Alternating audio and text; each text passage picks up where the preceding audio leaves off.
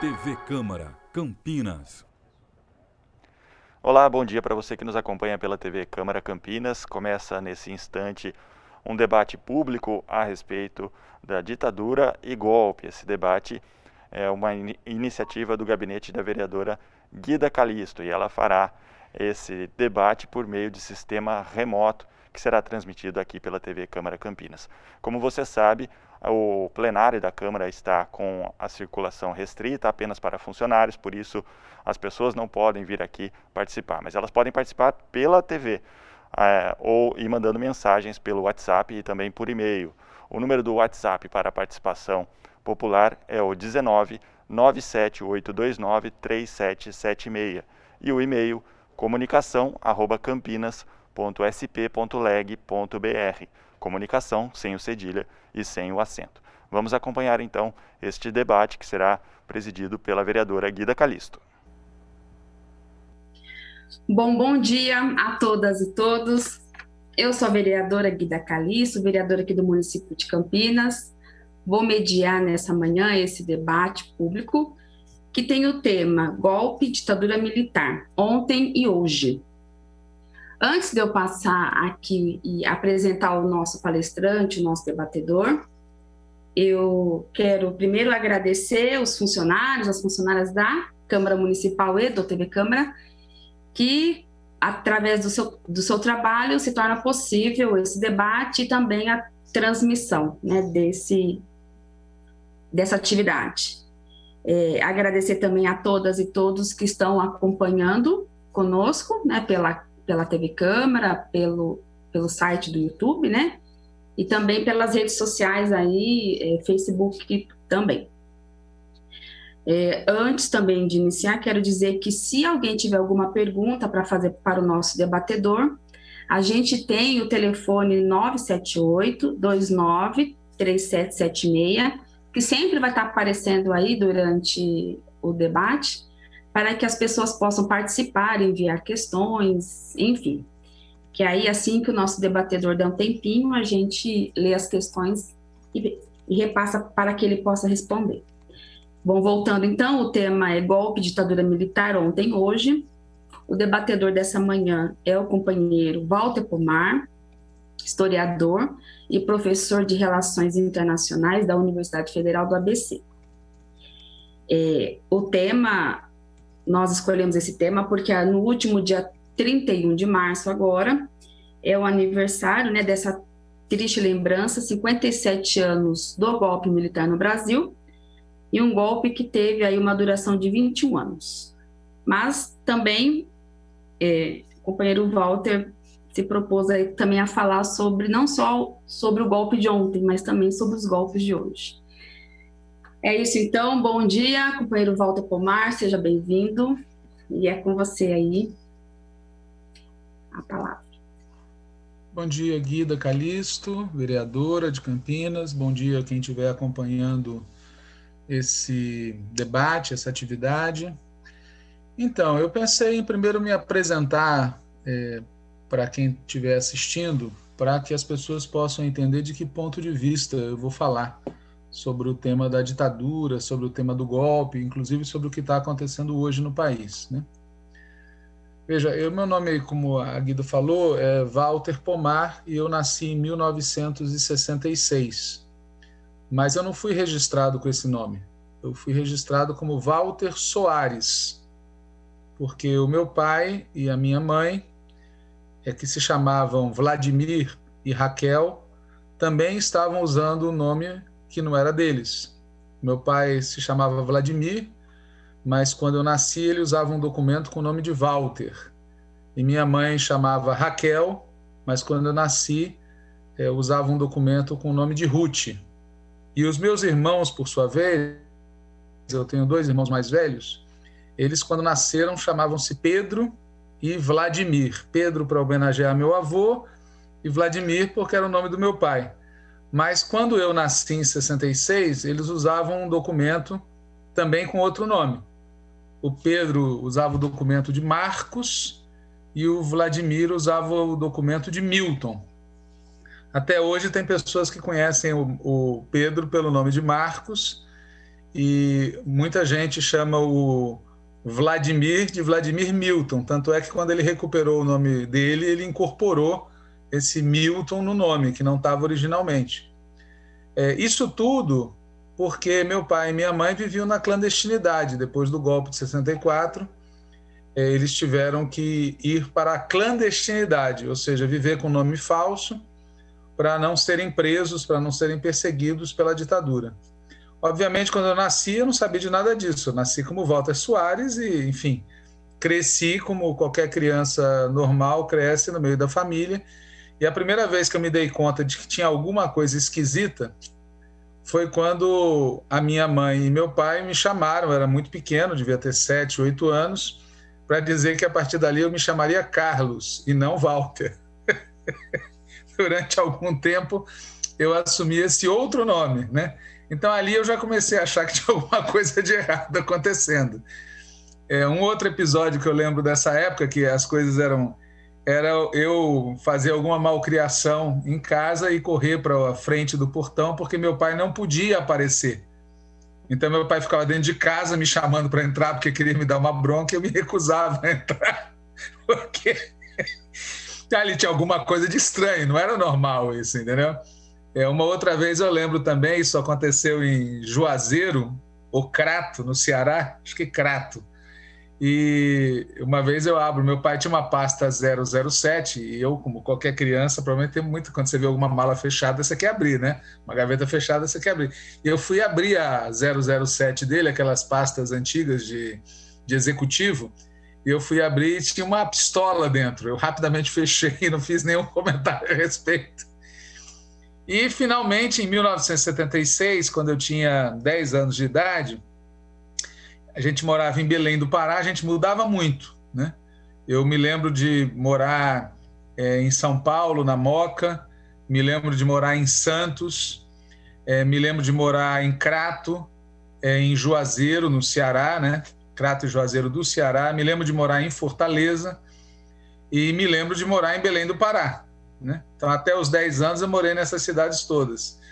E em Belém do Pará, eu estudava numa escola pública, num bairro de periferia, e fui para a escola de manhã cedo. E quando eu voltei, é, encontrei o meu irmão mais velho e a minha mãe chorando na cozinha da casa.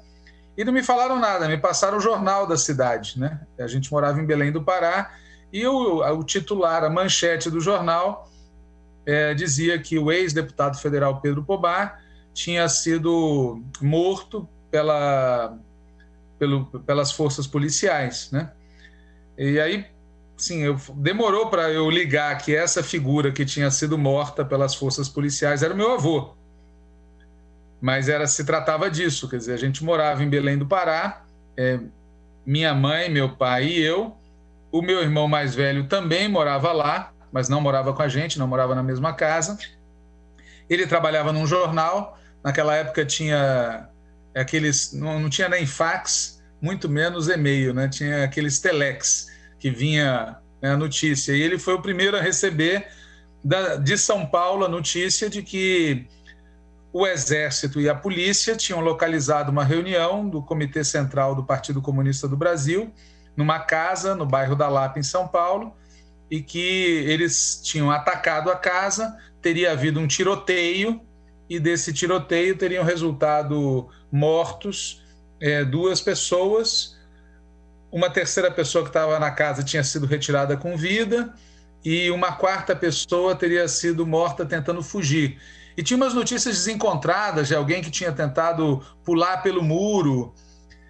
Enfim, eu ficava fantasiando que tinha sido meu pai que tinha conseguido pular pelo muro, porque a gente não tinha notícia nenhuma. A gente, minha mãe sabia que ele tinha ido para uma reunião, é, eu não sabia de nada disso, né?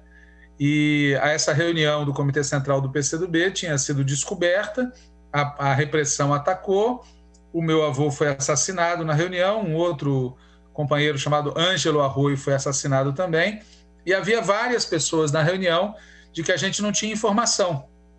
Nós não sabíamos se estavam vivas, se estavam mortas, se tinham fugido, se tinham sido presas se tinham sido presas, certamente estariam sendo torturadas. Eu não sabia disso como eu sei hoje. Esses detalhes todos, né? Isso foi começando a virar uma realidade para mim naquele momento, né? A partir daí que a ditadura se torna algo compreensível para mim plenamente, né? Até então tinham ocorrido esses episódios que eu citei, né? Do nome, da arma dentro da pasta, do meu pai não poder aparecer, da gente viajar muito, trocar muito de cidade, mas isso, enfim, hum, mas a partir de 76, não, a partir de 76, com esse episódio que é conhecido como a queda da Lapa, né, ou seja, a, o ataque do Exército e da polícia à reunião do Comitê Central do PCdoB no bairro da Lapa, em São Paulo, esse tema da ditadura passou a ser um tema muito forte para mim. A gente ficou em Belém do Pará mais um mês, isso tudo aconteceu em dezembro né,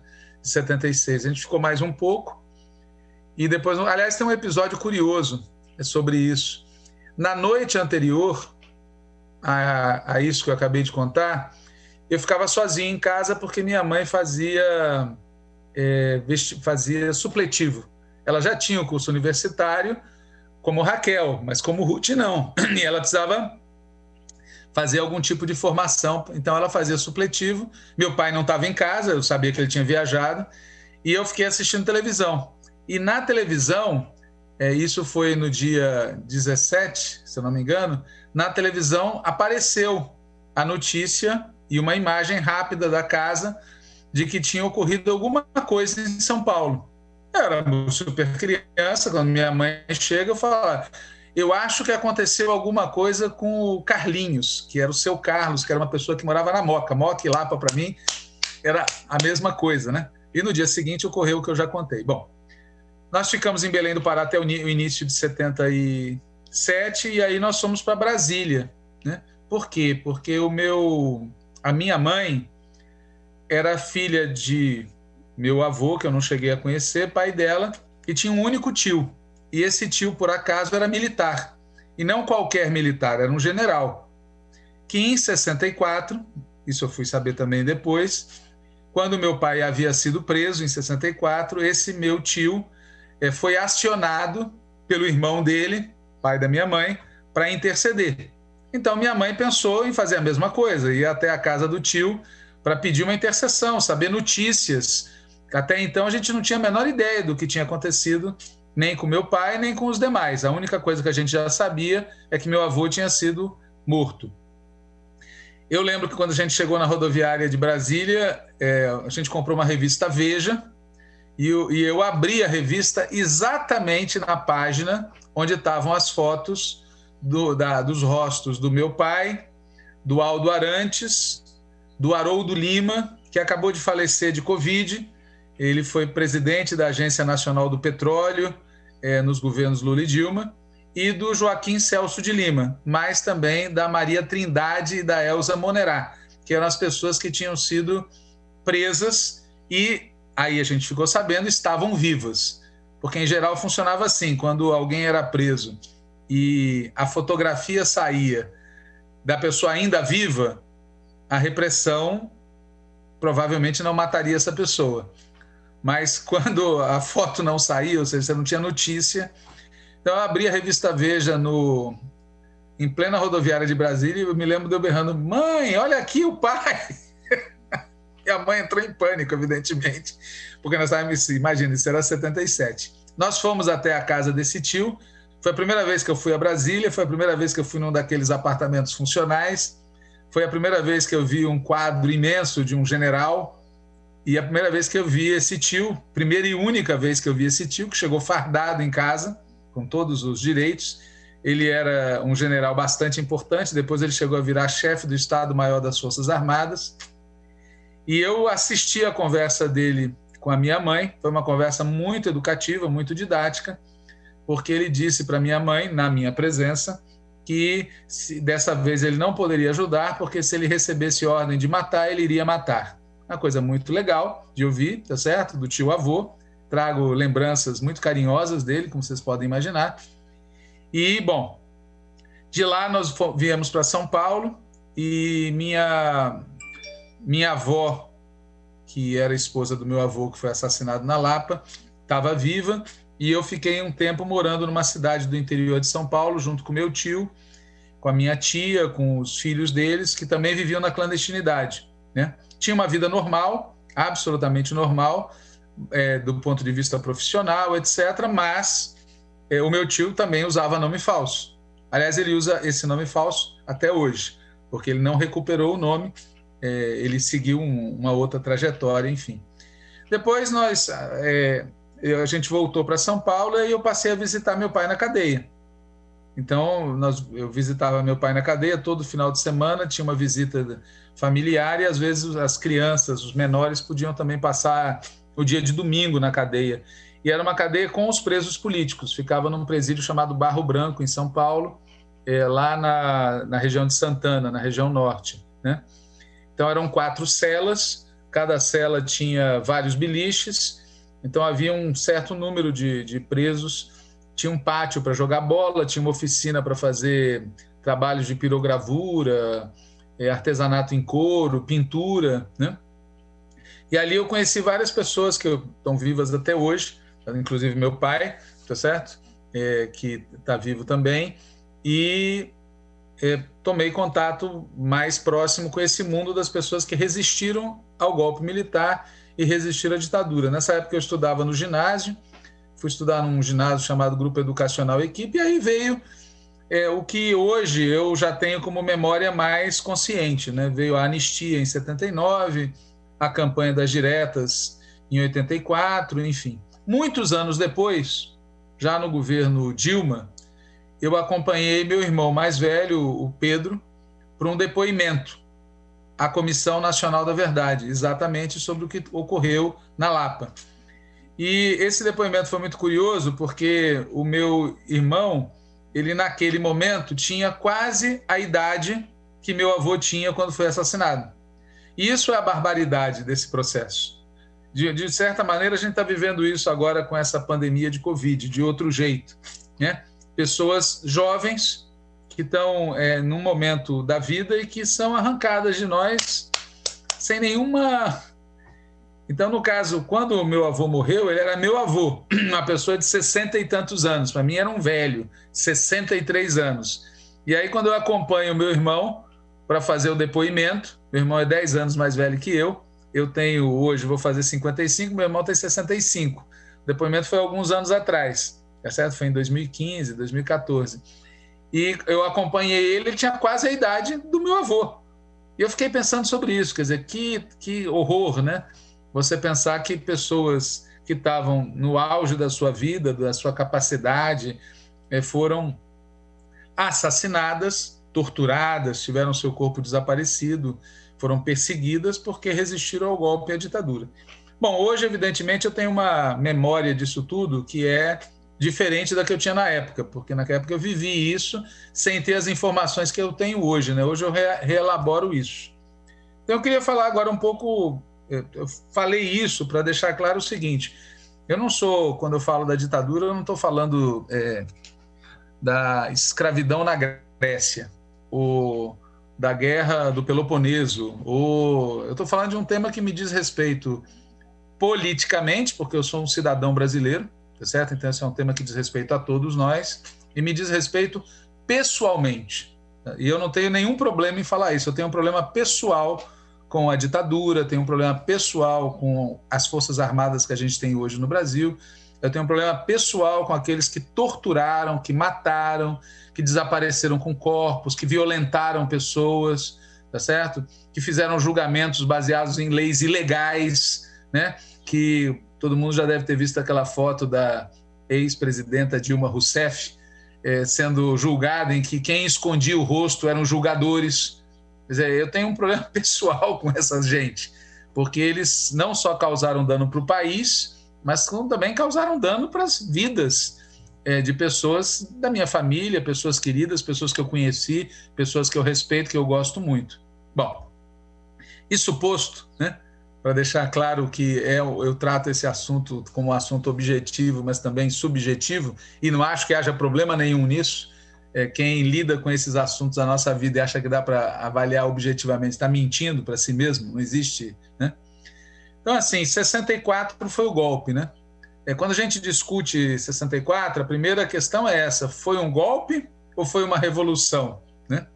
Ainda hoje tem gente que fala de Revolução de 64. É, na minha opinião, e na opinião de todos os historiadores que ligam Lé com Cré, aquilo não foi revolução coisa nenhuma. Quer dizer, a classe dominante continua a mesma. Os latifundiários, os empresários, ninguém mudou de posição social, né? nenhuma classe ascendeu ao poder, não houve nenhuma. Houve um golpe de Estado, né? um golpe de Estado. Um pedaço do Estado brasileiro, as Forças Armadas, o sistema judiciário, uma maioria parlamentar, sim, agiu para derrubar quem dirigia outra parte do Estado, que era a presidência da República, o governo. Né?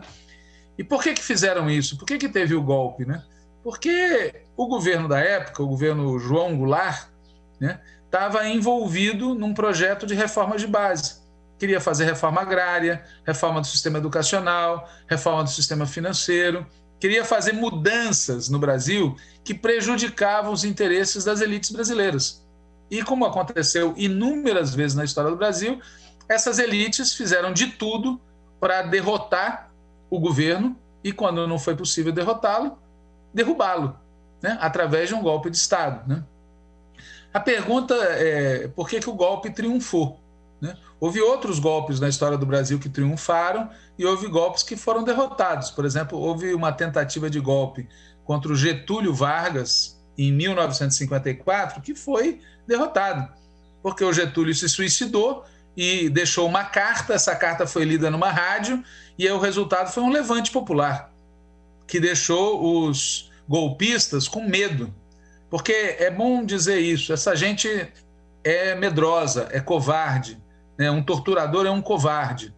Eu recomendo a vocês que assistam um videozinho curtíssimo, de um minuto de duração, que é o ex-presidente argentino Nestor Kirchner, que foi eleito na Argentina no início é, dos anos 2000.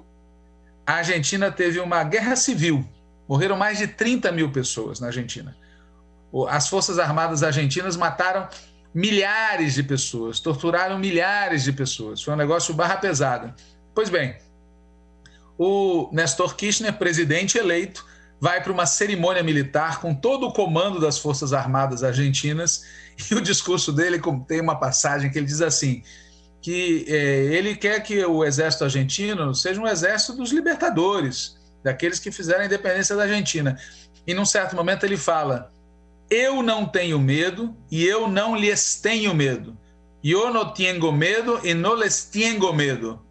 É um de uma força assim e é isso que a gente precisa dizer para esse Bolsonaro, para esse Mourão, para essas figuras que hoje continuam dizendo que foi certo fazer o que os generais de ontem fizeram.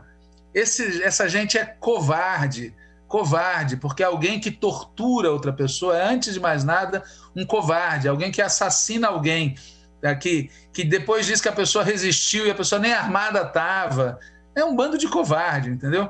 Bom, mas por que, que essa gente em 54 recuou por medo, porque o povo foi para a rua e eles perceberam que ia ter resistência.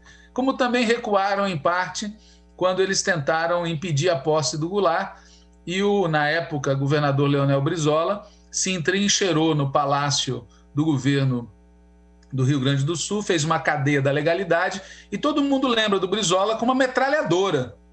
E disse para o general que ligou lá: vocês não vão dar golpe por telefone querem fazer golpe, vai ter que pagar o preço por isso. E toda vez que o povo reagiu desse jeito, vai ter golpe, vocês vão ter que pagar o preço por isso, essa gente covarde recuou. O problema é que em 64 não houve isso. Essa é a tragédia. Né? Em 64 tem um episódio que é um símbolo do que ocorreu naquele momento, que é o golpe começou meio que atrapalhado. Né? No dia 31 de março, um general chamado Mourão, não é esse que está aí na vice-presidência da República, é um outro, um general muito inteligente que dizia na imprensa, disse e repetia: em termos de política, eu sou uma vaca fardada. Daí você tira o nível de inteligência e, enfim, desse general. Ele, ele próprio dizia que ele era uma vaca fardada. Pois bem, esse cara resolveu iniciar o golpe e deslocou as tropas dele de Juiz de Fora, tá certo? E o cidadão chamou essa operação de Operação Popeye. Popeye por causa do Popeye, do desenho animado, porque ele gostava de usar um cachimbo. Daí vocês tiram, a, digamos assim, a, o imaginário que. E o fato é que essa coluna foi sobrevoada por um, um aeronauta, um cara que era ligado à esquerda, um, um democrata, um legalista, e que pediu autorização e disse para a imprensa várias vezes depois que se recebesse ordem de bombardear, teria bombardeado. Mas nem o comandante da área da aeronáutica da área, nem o ministro da aeronáutica, nem ninguém, inclusive é bom dizer, tinha brigadeiros da Força Aérea que eram comunistas, que eram pessoas de esquerda. Ninguém mandou bombardear, ninguém mandou parar o golpe, ninguém enfrentou. E aí o resultado é que eles foram, né?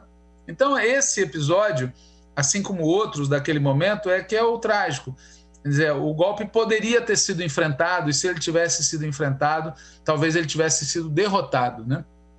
Se não naquele momento, em seguida, né? Mas infelizmente, esse golpe de 64 diferente do golpe de 54, não foi interrompido, né? não enfrentou uma resistência. Por quê? Aí tem muito debate a respeito. A minha impressão é que porque o povo acreditou que o governo João Goulart ia resistir. E o governo João Goulart acreditou que ele tinha apoio entre as Forças Armadas para resistir. E nenhuma dessas coisas era verdade. Né? teria tido condições de ter resistência. A prova disso é que depois que houve o golpe, milhares, milhares, fala-se em mais de 2.500 oficiais das Forças Armadas foram aposentados compulsoriamente. Por quê? Porque eram gente de esquerda. Essas pessoas podiam ter organizado a resistência. Como eu falei, havia generais de esquerda, generais comunistas, brigadeiros, almirantes, soldados, que podiam ter resistido. Mas para isso precisava ter comando, precisava ter disposição do governo e das organizações populares da época de dizer não vão passar, vai ter resistência. E resistência mesmo, porque se tratava de um golpe, era um atentado contra a democracia, estavam rasgando a Constituição e estavam iniciando. Mas, no fundo, o que, que prevaleceu naquele momento foi a ideia de que ia ser uma coisa passageira. Eu vou contar daqui a pouco o que acontece logo em seguida, que é, é uma prova disso. Muita gente não achou que aquele golpe ia dar origem a uma ditadura que ia durar 21 anos e que ia mudar para pior a cara do país. Né? Muita gente não acreditou nisso. O que, que o golpe interrompeu? Né? Isso é, é, bom, assim, quando a gente fala do golpe, por exemplo, quando eu comecei aqui, eu falo o relato de uma pessoa que teve a sua família atingida, etc. E assim há muitos relatos. Mas vamos pensar no país. O que, que o golpe interrompeu? O golpe impediu que o Brasil afirmasse a sua soberania, que tivesse um desenvolvimento com igualdade social, que tivesse reforma agrária, que tivesse um desenvolvimento diferente para o país. O golpe impediu isso. O golpe cortou a possibilidade do Brasil ser um país mais igualitário, mais soberano, mais livre. E o golpe forçou a mão para perpetuar a ordem que existe no Brasil há séculos que é dependência externa, que é desigualdade, que é falta de liberdade e esse desenvolvimento pela metade que o país tem. O golpe serviu para isso. Né? O golpe interrompeu a possibilidade do Brasil ser reformado para melhor. E o que, que o golpe gerou? Uma brutal, uma brutal exploração da classe trabalhadora, foi para isso que teve repressão política, não foi para punir os comunistas, os esquerdes, não. Foi para reprimir a classe trabalhadora, para fechar os sindicatos, para impedir as greves, para colocar medo nas pessoas, para as pessoas aceitarem qualquer salário, aceitarem qualquer é, jornada. E com isso se gerou um desenvolvimento intenso nos anos seguintes. Tem muitas vezes eu vejo até gente de esquerda falar: é, teve o golpe, mas teve desenvolvimento. Claro, Claro. Se superexplorou a classe trabalhadora, queria o quê? Que não tivesse desenvolvimento? Claro que teve. O problema é qual foi o custo disso.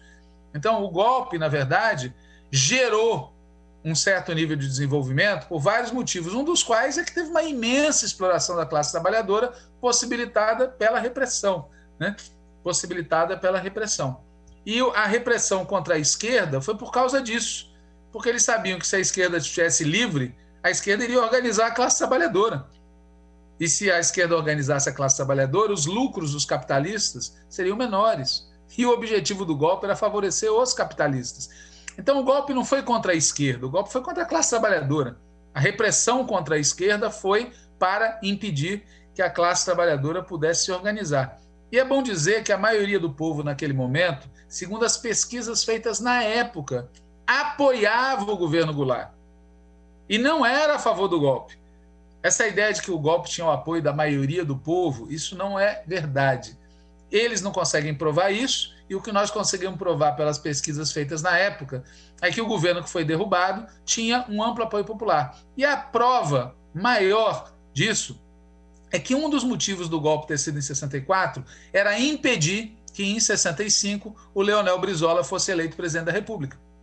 Ora, se eles estavam preocupados com essa possibilidade, porque eles sabiam que a maioria do povo queria dar continuidade às reformas populares. Os golpistas tinham total consciência de que eles estavam indo contra a vontade da maioria do povo. É que o problema é que o povo, para eles, é o povo cheiroso, tá certo? Os ricos, a classe média, esses setores eram majoritariamente a favor do golpe. Mas a massa do povo não era. A massa do povo, e eles sabiam disso, estaria disposta a votar no Brizola em 65 para aprofundar as mudanças. Claro que os golpistas não são tolos e na véspera do golpe fizeram mobilizações de massa, as famosas marchas da família com Deus pela liberdade, que teve em São Paulo e no Rio no dia 19 de março. Para quê? Para legitimar o golpe, para dizer que o golpe tinha apoio da maioria, mas não tinha apoio da maioria do povo, tinha apoio de um pedaço importante dos setores médios conservadores e da elite, mas não tinha apoio da maioria do povo. E se tivesse tido vontade de resistir ao golpe, tá certo? O golpe poderia ter sido detido. Como eu falei para vocês, o golpe começa no dia 31 de março, mas ele só se encerra no dia 2 de abril. Os militares não gostam de falar disso porque o primeiro de abril é o dia da mentira, né? E a verdade é que o dia 1 de abril foi o dia mais tenso. Foi quando a União Nacional dos Estudantes foi queimada, a UNB foi invadida, foi quando a maioria dos comandos militares aderiu ao golpe, quando percebeu que o governo não queria resistir, foram para o lado de quem tinha iniciativa.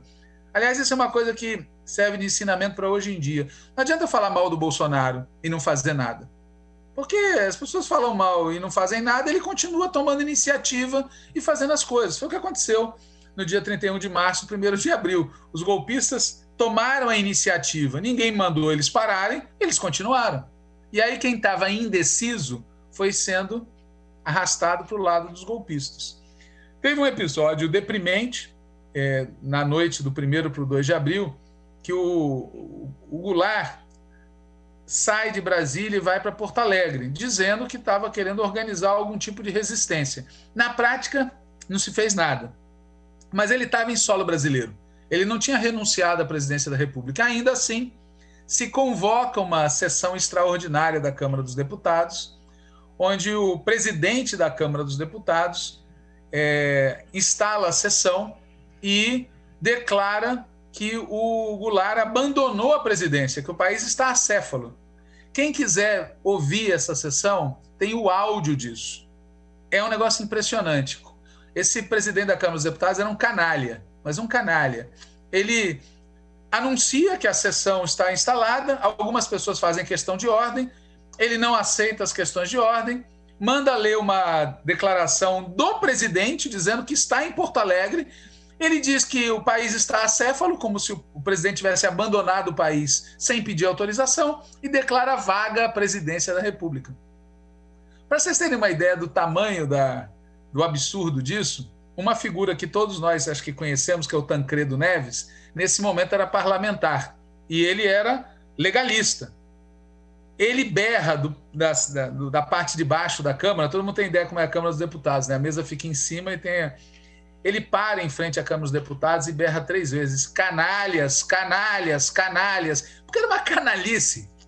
Assim, é que nem o impeachment contra Dilma por causa da pedalada fiscal, um bando de canalhas, entendeu? Sabiam que estavam mentindo, sabiam que estavam mentindo, mas queriam dar um verniz de legalidade. Aliás, a classe dominante brasileira é muito hipócrita. Ela comete crime o tempo todo mas dá um verniz de legalidade. Foi o que eles fizeram em 64. Eles deram um golpe de Estado, só que em vez de um ditador se instalar no poder, o que, que eles fizeram? declararam vaga a presidência da República e chamaram uma eleição indireta, conforme a lei previa. E na eleição indireta, Tchan Tchan apresenta-se como candidato à presidência da República o general Castelo Branco. E pronto. O Congresso Nacional, tudo dentro da lei, elege o presidente Castelo Branco para ser o presidente da República no lugar do Goulart, que, em tese, segundo eles, teria abandonado o país. E aí vem um detalhe importante: muita gente vota, muitos parlamentares votam no Castelo Branco. Muitos parlamentares não estão, já estão fugindo do país, sabem o que está acontecendo. Outros vão para votar contra. E muitos votam a favor, entre eles Juscelino Kubitschek e Ulisses Guimarães. Juscelino Kubitschek e Ulisses Guimarães, que eram do PSD, votam no general Castelo Branco. Quando as pessoas lembram que o Ulisses, anos depois, disse tem o nojo da ditadura, é bom lembrar que quando a ditadura começou, ele foi um dos que pôs lá o seu votinho a favor do Castelo Branco. Ele podia ter votado contra, podia ter se abstido, podia ter ido embora, podia não ter reconhecido aquela sessão, uma fraude. Não, foi lá e votou a favor, assim como Juscelino Kubitschek. Por quê? Porque eles achavam que o golpe era só contra o Goulart e que ia ter eleição presidencial em 65 e que eles iam ser candidatos, que o Juscelino ia poder ser eleito. Vã ilusão, entendeu? Ilusão total. Essa gente toda da direita gourmet da época achou que o golpe era só contra os comunistas, contra a esquerda, contra os trabalhistas, contra o Goulart, contra o Brizola, e que depois a vida ia voltar ao normal. E o que, que aconteceu? Não voltou ao normal. Né? O, o, eles ajudam a eleger o Castelo Branco e depois o governo suspende as eleições de 65. Uma das primeiras medidas, isso aconteceu, a eleição do Castelo Branco aconteceu no dia 11 de abril. Né? E aí as, as medidas iniciais são muito típicas, né? Rompimento de relações com Cuba, aprovação de uma lei antigreve, acordos com órgãos do governo dos Estados Unidos para intervir na educação brasileira, criação do Serviço Nacional de Informações. Vocês notem que a, a, a psique dos golpistas de hoje é a mesma daquela época, né? Cuba, oh, né? É um medo, né? É, antigreve, não pode ter greve é intervir na educação e criar um serviço de informações reservadas, que na época não existia, né? o Serviço Nacional de Informações, o famoso SNI. E já começa a repressão. E em julho, veja só, em abril, o Juscelino votou no Castelo Branco. E em julho, o Castelo Branco suspende por 10 anos os direitos públicos de 337 pessoas, entre os quais o Juscelino Kubitschek, e pasmem, o Jânio Quadros, um cara de direita que apoiou o golpe. Essa direita gourmet no Brasil tem um parafuso a menos, né? Porque como eles odeiam o povo, odeiam a classe trabalhadora, eles sempre acham que dá para convocar a extrema direita, achando que a extrema direita vai só atacar o povo e a classe trabalhadora. E acontece isso que aconteceu em 64, né? Como eu acabei de falar, teve 50 deputados federais, seis governadores, o Jânio Quadros e o Juscelino Kubitschek, ambos tinham sido presidentes da República, tiveram seus direitos suspensos por 10 anos. Portanto, acabou, não ia ter eleição livre em 65. E começam as sanções, as prisões, as perseguições. Por exemplo, a Uni é colocada fora da legalidade, tá certo? E assim vai. Bom, já em 65, o Castelo Branco decreta um ato institucional número 2. O que hoje a gente chama de medida provisória é uma coisa hiperdemocrática. Na época, a ditadura militar soltava os atos institucionais. Não tinham nenhuma base legal, era só a força, mas vinham com a aparência da legalidade, né? Devia assim, decreto ditatorial número 2. Não, era ato institucional, mas beleza, né? Esse ato institucional número 2 é importante porque ele acaba com os partidos que existiam antes do golpe e criam dois partidos. É, os, os, militares criam dois partidos: a Arena, Aliança Renovadora Nacional, e o, o PMDB, no caso o MDB na época, né? Movimento Democrático Brasileiro, que é o que o pessoal na época brincava, que era o partido do sim e o partido do sim senhor, né? Era a situação e a oposição consentida, né? E assim vai. Em 66 passa a um, tem um novo ato institucional que decreta eleições indiretas para governos de estado e das capitais. Hoje a gente não imagina que pudesse ter sido assim, mas durante anos nós não votávamos diretamente para presidente, não votávamos diretamente para governadores de estado e não votávamos diretamente para prefeitos de capitais e de áreas de segurança nacional. Por exemplo, é, Estâncias hidrominerais, área de segurança nacional. Não votava, porque os militares achavam que, como dizia um esportista brasileiro famoso, o povo não sabia votar, né? Veja, se eles tivessem apoio da maioria do povo, eles não teriam feito isso, né? Vamos nos entender? Eles não teriam feito isso. É mais uma prova de que eles sabiam muito bem que a maioria do povo não estava de acordo com isso. Bom, em 66, 67, é uma coisa gozada. Eu era criança, não tenho nenhuma lembrança pessoal disso. Mas eu já conversei com muita gente que viveu naquela época que era assim: tinha uma ditadura, tinha perseguição, tinha prisão, já tinha o começo de tortura, tá certo? Então ninguém tinha dúvida que tinha uma ditadura, mas ao mesmo tempo tinha mobilização, tinha luta, tinha atividade cultural, ou seja, era uma fase da ditadura em que ainda parecia que não tinha se completado o processo. Muitas vezes a gente hoje em dia no Brasil fica sempre com essa impressão, né? Quando a pessoa diz o Bolsonaro vai dar um golpe, vai dar o golpe dentro do golpe. Quer dizer, o Bolsonaro já é produto de um golpe, já faz um governo repressivo, mas a gente tem a sensação do quê? Que pode piorar. E foi isso que ocorreu é, em 65, 66, 67. Foi se tornando cada vez mais tensa a situação, porque tinha mobilização contra a ditadura, mobilização sindical, mobilização estudantil, tinha mobilização dos políticos da direita gourmet, por exemplo, eles, o Juscelino Kubitschek, o Carlos Lacerda e outros montam a chamada Frente Ampla em 66 para fazer uma, essa expressão que hoje tanta gente usa, né? Frente ampla.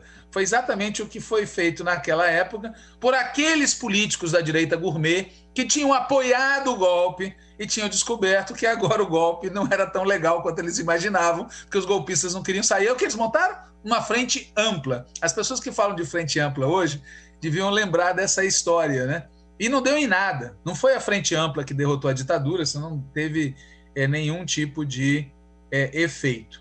Bom, em 67, a ditadura promulga uma nova Constituição. Como eu falei, a, assim, a classe dominante brasileira e os golpes no Brasil, eles sempre buscam se legalizar, ter a aparência de legalidade. Então, o que eles fizeram? Promulgaram uma nova Constituição. E essa nova Constituição é que passou a valer até 1988. Detalhe importante: nessa nova Constituição não estava autorizado torturar ninguém. Não estava autorizado desaparecer cadáver. Mas eles faziam isso. Ou seja, a ditadura tinha uma aparência de legalidade, mas os agentes do Estado não cumpriam nem mesmo a lei deles para reprimir a população, para reprimir a esquerda, para reprimir quem não estava de acordo com a ditadura. É, é, importante a gente perceber isso, porque não é de agora essa dupla moral dos caras, né? Eles exigem que o povo cumpra as leis, que eles alteram a favor deles, mas eles não cumprem a lei e escondem isso, tem vergonha disso, não pode falar disso. Nós, pelo contrário, fazemos questão de lembrar o tempo todo, tá certo? Por exemplo, hoje nós temos um presidente que, como disse bem o Luiz Inácio Lula da Silva, um presidente que é um miliciano, um miliciano. Isso não está dentro da lei, simplesmente isso. E o cara está lá. Naquela época, o general Geisel, o general Castelo Branco, o general Costa e Silva, esse pessoal, o Médici, o Figueiredo, essa turma toda, sabia que estavam sendo cometidos crimes contra a própria Constituição que eles haviam promulgado. A Constituição não mandava torturar, mas era uma política de Estado. Assassinar pessoas, desaparecer com corpos, era uma política de Estado. Hoje em dia tem muita gente que usa a expressão nos porões da ditadura, porões uma ova. Porão é aquela coisa que você não vê, né? O dono da casa não sabe o que está no porão. Os donos da casa sabiam o que se fazia no porão. Eles mandavam fazer. Eles supervisionavam, eles tinham plena consciência do que estava ocorrendo. Bom, bom, a partir de 67, uma parte da esquerda está é, apostando na mobilização de massa, na denúncia, etc. Uma parte foi para o exílio. Uma parte da classe trabalhadora está tentando sobreviver, amedrontada sob repressão, e uma parte da esquerda começa a falar em luta armada. Já em 67, é, o exército descobre e dissolve a chamada guerrilha de Caparaó, que foi ali na região da fronteira entre Minas e Espírito Santo, né? No caso, feita por gente que tinha vínculos com o PTB, né? com o brisolismo, com o trabalhismo. Bom, 68 é um ano chave, porque 68 é um ano que tem muita repressão e muita mobilização. É quando morre o Edson Luiz, né, aquele secundarista, é quando tem a passeata dos 100 mil no Rio de Janeiro. A gente sempre vê as fotos né, do Chico Buarque, de todo mundo, né? Todo mundo pergunta: você estava na passeata dos 100 mil? Né? Aí pessoas ficam tentando achar. Eu vi uma vez um negócio muito legal que é isso: as fotografias e as pessoas tentando descobrir quem estava lá. Né? É, tem a greve de contagem, a greve de Osasco, muito importante, que foi uma. O movimento sindical foi muito é, espancado pela ditadura. Né? Por que, que teve mais mobilização estudantil que mobilização da classe trabalhadora? Porque teve mais repressão sobre a classe trabalhadora. Os estudantes, uma parte grande dos estudantes que foram às ruas, eram filhos de setores médios, tinham melhores condições de vida e tinham maior capacidade de sobrevivência naquele momento enquanto a classe trabalhadora estava passando o pão que o diabo amassou. Ainda assim, houve duas greves muito importantes em Contagem e Osasco, que foram muito reprimidas, tá certo? com muitas prisões, e começa um tensionamento cada vez maior no ano de 68. É a época, por exemplo, que o Vandré faz aquela apresentação é, no festival cantando Para Não Dizer Que Não Falei das Flores, né? Então, assim, era um momento de muita tensão e essa tensão aparece também no plano do Congresso. Um deputado chamado Márcio Moreira Alves eh, faz um discurso na Câmara em que acusa claramente o Exército de ser um valhaculto de torturadores. Né?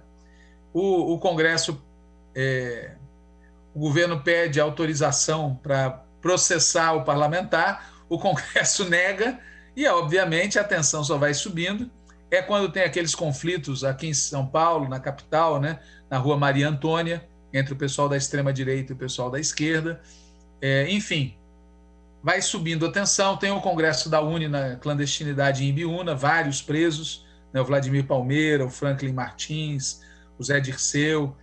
E no dia 12 de dezembro, a tensão chega ao máximo. A Câmara dos Deputados nega licença para que o governo processe o deputado Márcio Moreira Alves, que é aquele do discurso, tá certo, acusando o exército de estar cometendo crimes.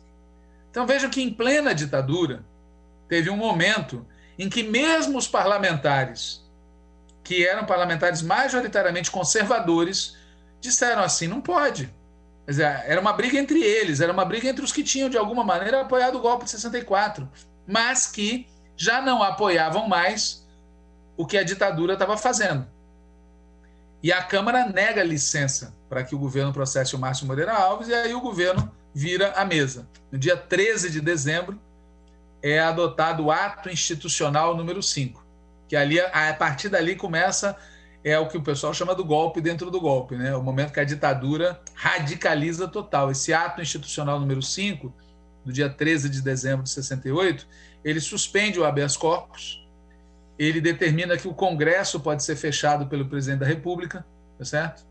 Permite caçar mandatos de parlamentares, suspender direitos políticos, demitir ou aposentar compulsoriamente servidores públicos. Aí, por exemplo, o Florestan Fernandes foi um dos que foi aposentado compulsoriamente, né? Então, assim, o, o sonho do nosso cavernícola é aprovar o ato institucional número 5. Ou seja, é dar ao executivo, comandado por ele, poderes de fechar os outros órgãos, legislativo, judiciário, caçar parlamentares eleitos pelo povo, caçar é, é, executivos eleitos pelo povo, caçar ministros do Supremo e demitir funcionários públicos. Esse é o, é o sonho do cara, entendeu? Bom, Isso tudo acontece no dia 13 de dezembro de 68, e aí, a partir daí, aquele clima que eu falei que ainda existia, de tinha ditadura, mas tinha uma certa mobilização, tinha um certo espaço, isso acaba. Né? De 69 para frente é a parte barra pesada da, da ditadura, quer dizer, as cassações, que pegou gente do STF, pegou gente do Superior Tribunal Militar, pegou parlamentares, suspensão das eleições e começa a repressão mais barra pesada. E aí é interessante falar que quando a repressão mais barra pesada começa, eles criam um organismo chamado OBAN, que era financiado pelos empresários. É bom lembrar disso. O empresariado capitalista brasileiro, em sua grande maioria, aplaudiu o golpe de 64 e apoiou, apoiou com dinheiro, apoiou materialmente, não só a ditadura, mas um momento de máxima repressão, inclusive, inclusive essa OBAN, Operação Bandeirantes e os órgãos de repressão todos. Então, esses caras, a começar pela Folha de São Paulo, a Folha de São Paulo emprestava os carros de entrega dos jornais para os aparelhos de repressão. É curioso, porque hoje em dia a gente imagina que o Estadão é um jornal mais conservador que a Folha. Mas na época da ditadura, o Estadão teve mais coragem do que a Folha de São Paulo. A Folha de São Paulo é um jornal abjeto, que até hoje eles posam como se não tivessem feito tudo o que fizeram, entendeu? É o jornal coxinha típico, tá certo? É, que posa de uma coisa e é outra, né? Pois bem, então foi um momento de muita brutalidade e aí acontece um episódio que é bem típico da ditadura, né? É, o general que comandava o país nesse momento já não era o Carlos Castelo Branco, era o Costa e Silva, né? E o Costa e Silva tinha um vice-presidente que era civil. O Costa e Silva tem um acidente vascular cerebral, um AVC. E o que, que os caras fazem? Dão a posse ao vice-presidente? Coisa nenhuma. O vice-presidente era civil. O que, que eles fazem? Colocam uma junta militar, que alguém chamou na época de os três patetas, né? E é isso, a junta militar, uma, um cara do exército, um cara da marinha, um cara da aeronáutica. É a prova de que a gente não deve chamar a ditadura militar de ditadura civil militar. Porque, veja, o empresariado se beneficiou pelo golpe, do golpe, apoiou a ditadura e é o maior a ditadura aconteceu para beneficiar a classe capitalista. Agora, a ditadura foi exercida pelos militares. É diferente, por exemplo, da ditadura Vargas que foi exercida por uma pessoa.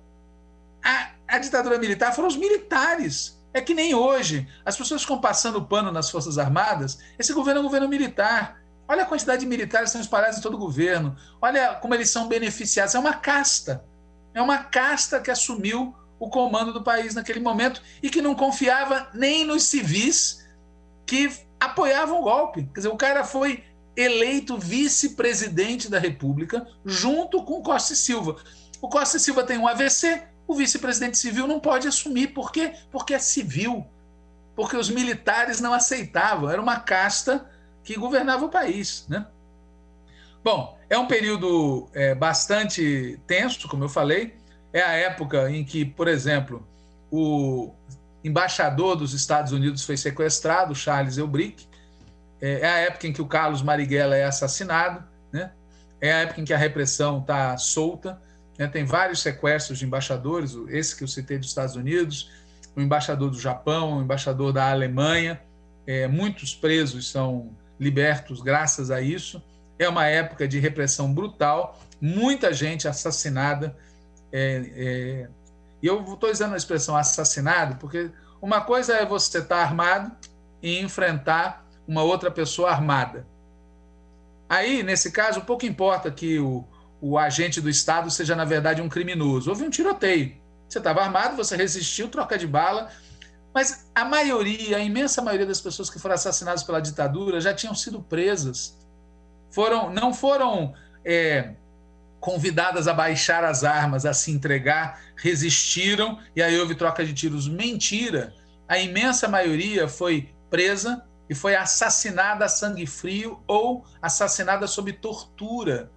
Não houve um enfrentamento, é a exceção isso. A regra foi o que eles fizeram com Joaquim Câmara Ferreira, o que eles fizeram com Marighella, tá certo? Fizeram com tantos outros que foram assassinados, inclusive pessoas que não eram da luta armada. O caso que é mais falado sempre é o do Rubens Paiva. É, o Rubens Paiva era um deputado em 64, inclusive ele era de Santos, né? E tem um episódio bastante interessante quando tem o golpe, tem uma uma fala dele na rádio que vocês podem achar no YouTube, muito bonita, em que ele convoca o povo a resistir e não sei o quê. Pois bem, ele tinha vida normal, vida na legalidade. Um dia a polícia bate na casa dele para levar ele para prestar um depoimento, ele nunca mais voltou. Nunca mais voltou. Por quê? Porque ele foi torturado e o que é mais é, é, é, grotesco, ele teve o corpo despedaçado. Isso já hoje está comprovado. É, como sabe, açougue, que você pendura os pedaços é, do boi ou da vaca naqueles ganchos, fizeram isso com o corpo dele, assim como fizeram com o corpo de outros que foram é, presos e torturados nessa época. Essa gente era sádica, é sádica. O Bolsonaro é produto disso. As pessoas, quando falam que o cavernícola é uma pessoa assim, é porque ele é produto disso. Nunca houve nesse país o que houve na Argentina, por exemplo. Na Argentina, os generais foram condenados a anos e anos, anos de prisão e a prisão perpétua. Também está no YouTube, vale a pena ver o momento em que os generais da ditadura argentina foram submetidos a julgamento e a sentença foi lida. E é muito bonito, porque quando termina a leitura da sentença, o cara que está lendo, né, diz: Ó, não vou fazer um discurso, isso aqui não é uma coisa pessoal só vou dizer aquilo que o, que o povo argentino fala, nunca mais. E é isso, né? Aqui no Brasil nunca foi dito isso, nunca mais. Então aí vão aparecendo outros doentes é, é, do ponto de vista político, né? Porque não é uma doença, é doença política. Esses caras são é, de um sadismo, de uma brutalidade, de uma ideia completamente degenerada, né? Enfim.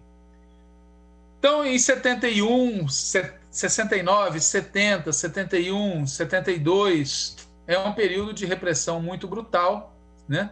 É, mas ao mesmo tempo é um momento em que a ditadura começa a enfrentar problemas econômicos.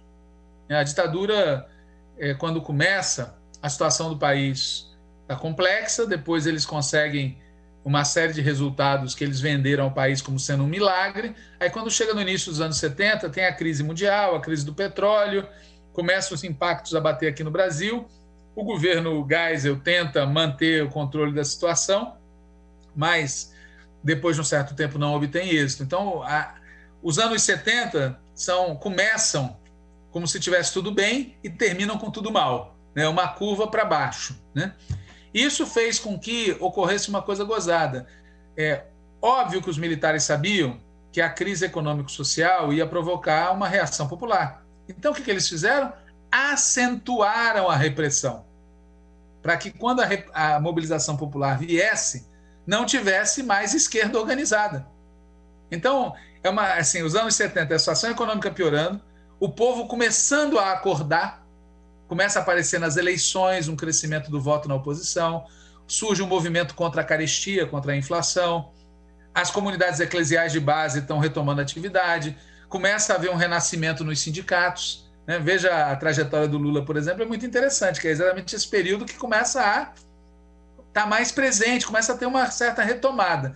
E a ditadura, do seu lado, está acentuando a repressão para poder, quando a, o povo voltar, não ter mais esquerda. Então, esses anos de 70, 71, 72, 73, 74, 75, 76 são anos barra pesada. É gozado porque na lembrança das pessoas, é, de muita gente, o Médici aparece como sendo o general mais sanguinário e o Geisel aparece como sendo o general mais simpático. Na verdade, dos fatos é o contrário. O Geisel foi mais sanguinário.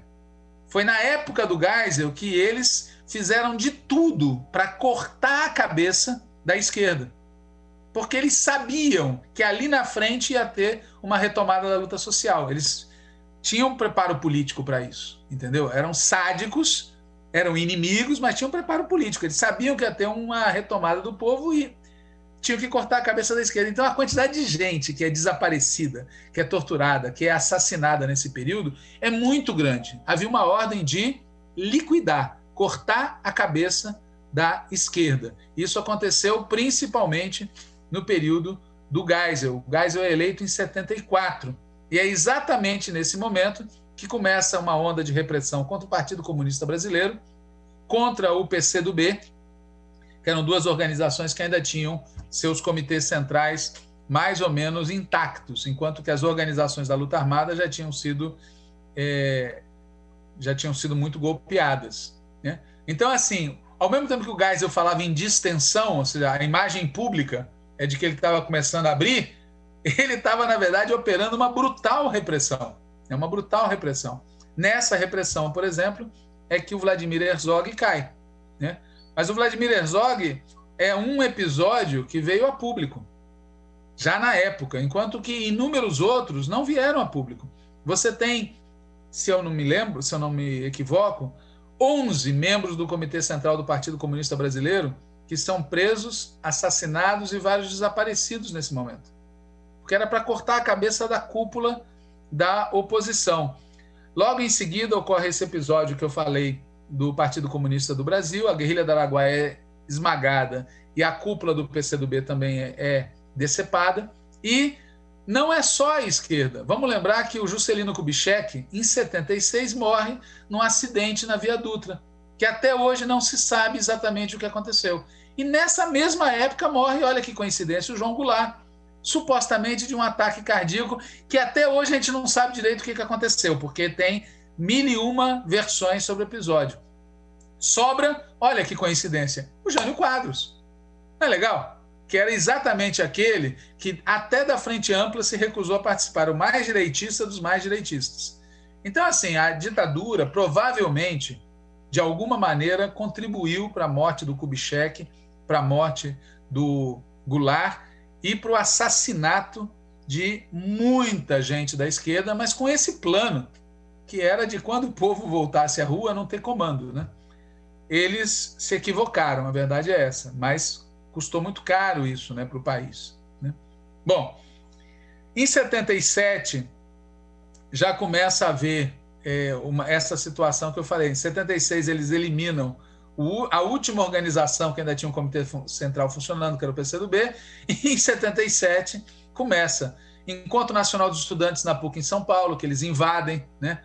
Era aquele Erasmo Dias, o secretário de Segurança de São Paulo, foi uma barbárie na PUC, né? com bomba de gás lacrimogêneo, com polícia invadindo, mas o fato é que teve o um encontro convocado, havia mobilização estudantil sendo retomada. Né? É, o, os trabalhadores do ABC Paulista estavam iniciando o movimento também pela reposição salarial, e a prova de que eles sabiam que eles estavam mal na foto é que, tendo em vista o resultado péssimo para eles da eleição anterior, em abril de 77, eles editam um novo pacote legislativo. Eles fecham o Congresso e baixam uma série de leis que garantem que a ditadura vai ter maioria de votos no parlamento. Ou seja, eles não tinham apoio. Essa coisa que os militares é, fizeram foi contra a vontade da maioria do povo brasileiro. E os atos deles confirmam isso. Né? Quem tem maioria não fica mudando a legislação eleitoral, não fica é, inventando parlamentar biônico, não fica caçando o voto de quem foi eleito. Não, quem tem maioria ganha a eleição e governa. Eles não tinham maioria para fazer isso, tá certo? Eles usavam a força para é, impor a vontade deles. Em 78 também é ainda é ditadura, evidentemente, começa a mobilização aí já mais forte no ABC paulista, o governo do Geisel revoga o AI-5 em 78, eles estão fazendo aquela distensão lenta, né? E depois, em outubro de 78, elege o último general é, presidente, que é o João Batista Figueiredo. Né? As eleições eram feitas num colégio eleitoral. Né? Nesse colégio eleitoral votavam os parlamentares e representantes das assembleias legislativas. Não era voto direto e o governo tinha maioria. E quando tinha risco de perder maioria, eles fechavam o Congresso, mudava a composição do Congresso e tinha maioria de novo. Então era um jogo de cartas marcadas, né? Era um espaço onde eles não perdiam nunca, embora houvesse anticandidaturas, né? Ulisses Guimarães foi anticandidato, Euler Bentes Monteiro foi anticandidato, né? Então tem teve disputas nesse colégio eleitoral, mas era um jogo de cartas marcadas. Uma parte da oposição achava um erro ir para o colégio eleitoral disputar com o candidato dos militares, porque isso, de certa maneira, legitimava o processo. Outros achavam que isso era uma maneira de tornar público para o país a existência de uma oposição. Né? Bom, em 79 já é governo Figueiredo, aí a, o povo vai para a rua com toda a força. Né? É um ano de muita greve. Né? Os números falam de mais de 3 milhões de pessoas paralisadas em greve, os presos políticos estão fazendo greve de fome o, o governo Figueiredo aprova uma lei da anistia no Congresso Nacional, e aí começam a voltar os exilados, e aqueles que tinham sido presos e perdido os direitos políticos começam a recuperar os direitos políticos. Essa história da anistia gera polêmica até hoje, porque muita gente fala que a anistia foi um pacto para o país voltar. Não teve pacto nenhum. O governo impôs a maioria dele e aprovou o que eles queriam. O que, que eles queriam? Eles queriam uma anistia para os deles. Eles queriam uma anistia para aqueles que nunca haviam sido presos, para aqueles que nunca haviam sido julgados, para aqueles que nunca haviam sido condenados, mas que sabidamente haviam cometido crimes. Ou seja, todo o aparato de repressão do exército, da marinha, da aeronáutica e das polícias. Eles queriam uma anistia para essa turma. Por quê? Porque essa turma resistia à abertura tinha uma disputa dentro do governo militar entre os que achavam que era melhor recuar e os que achavam que tinha que manter a ditadura. E um dos argumentos dos que diziam que tinha que manter a ditadura é que iria haver vingança da parte dos derrotados. Ou seja, se a ditadura saísse, ia haver uma revanche. Aqueles que haviam sido golpeados em 64 iam se vingar dos golpistas. E quem ia ser a primeira vítima? Os que haviam cometido os crimes perante a própria lei da ditadura. Os que haviam, por ordem do comando militar e da presidência da República, haviam cometido crimes de tortura, desaparecimento, etc. Então era preciso, de alguma maneira, acalmar essa turma. E a maneira de acalmar era aprovar uma lei da anistia que aparentemente beneficiava só os que haviam sido presos pela ditadura, mas que de fato beneficiava os que haviam cometido crimes em nome da ditadura. Então, essa lei da anistia, que é aprovada é, em agosto de 79, foi sancionada pelo Figueiredo no dia 28 de agosto de 79, na verdade beneficiava ou queria beneficiar, queria proteger os torturadores, os que desapareceram com cadáveres, os que cometeram crimes contra os direitos humanos, que são considerados crimes inafiançáveis. Né? Pois muito bem. Aí, a partir de 1980, nós voltamos a uma situação parecida, 79 e 80, a gente volta a situação parecida com os anos iniciais da ditadura. Né? Lembra que eu falei que de 64 até o AI-5 tinha ditadura, mas ainda tinha muita luta. De 79 até 85 ainda tinha ditadura, mas todo mundo sabia que estava no final e que tinha muita luta. Então é um momento que a ditadura ainda está lá, mas já não é mais aquela. Eles já estão em retirada, né? É o momento em que, em 1980, se funda o PT, né? Se, cria, se, se criam vários outros, se retomam partidos que haviam sido fechados pela ditadura, se criam novos partidos. É, ainda existe uma extrema-direita atuando no país muito ativamente. É a época que tem atentados a bancas de jornais, tem atentados à sede da OAB, e tem o atentado que ficou mais conhecido, que foi em 1981. Teve um show para comemorar o 1 de maio, no Rio Centro, lá no, no Rio de Janeiro, e um carro explodiu. E quando se descobriu, dentro desse carro estavam dois, ofici dois é, militares que estavam ali para instalar uma bomba no palco do show. Eles iam matar milhares de pessoas. Isso foi em abril de 81. Não, essa extrema direita continuou operando, tá certo? É, o, as Forças Armadas tentavam, obviamente, né, a cúpula das Forças Armadas não tinha interesse nisso, tentava conter, mas os caras continuavam operando. Né? Exemplo disso, quando a gente fala do, do cavernícola que nos preside, ele é exatamente filhote dessa mentalidade. Né? O que, que ele quis? Colocar uma bomba no banheiro dos quartéis para tentar aumento salarial para os soldados. para os oficiais, para as Forças Armadas.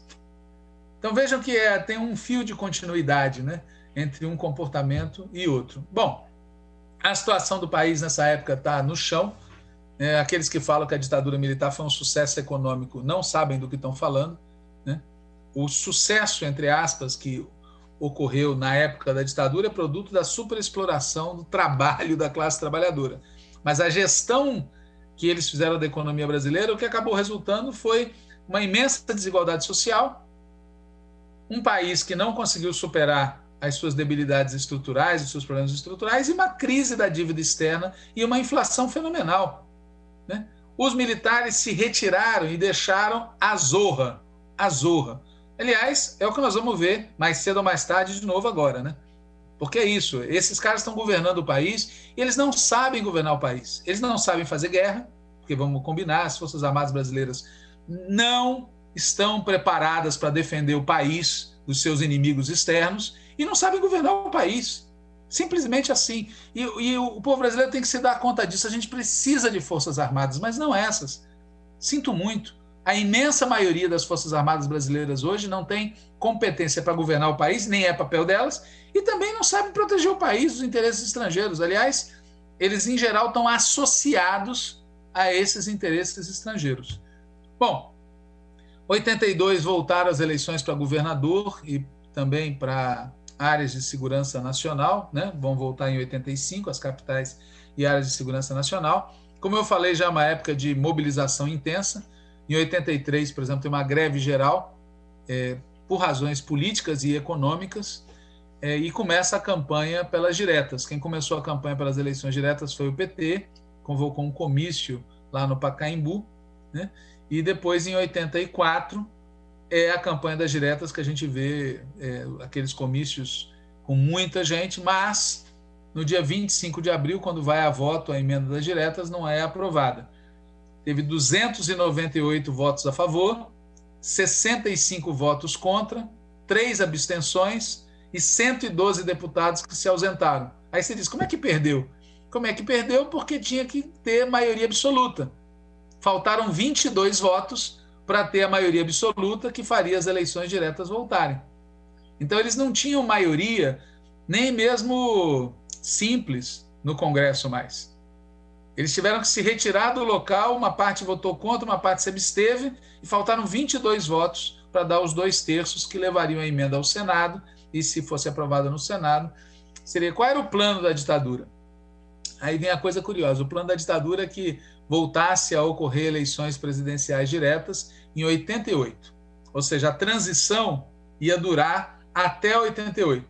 Sairia o Figueiredo, entraria um novo militar que governaria por mais três anos, e aí teria eleição direta, e esse era o plano deles. Bom, o plano não deu certo, num, em dois sentidos. É, em 1985, teve a eleição indireta, a última eleição indireta. E nessa eleição indireta, quem ganhou a eleição foi o Tancredo Neves, que era candidato do MDB, né? já PMDB nesse momento. E quem perdeu a eleição foi o Paulo Maluf, que não era o candidato preferido pelos militares. O candidato preferido pelos militares era o Mário Andreasa, que foi ministro do interior, era coronel e é o cara que dirigiu a construção da ponte Rio-Niterói, né, na época dele. O Mário Andreasa perdeu para o Paulo Maluf na convenção da Arena. Perdeu. Como? Adivinhem, né? O que, que o Paulo Maluf faz para ganhar? Ele fez exatamente isso e derrotou candidatos militares. Como já tinha feito isso quando ele foi candidato a governador de São Paulo, ele derrotou lá o, o candidatos militares na eleição dentro da arena. Então, assim, o Paulo Maluf derrota os candidatos militares e, em seguida, o Paulo Maluf é derrotado pelo Tancredo. O curioso é que o Tancredo tinha na vice um senhor chamado José Sarney. O José Sarney foi virou vice do Tancredo no domingo, quando teve a convenção do PMDB. No sábado, ele estava presidindo a convenção do PDS, que era o partido herdeiro da Arena. Vou repetir.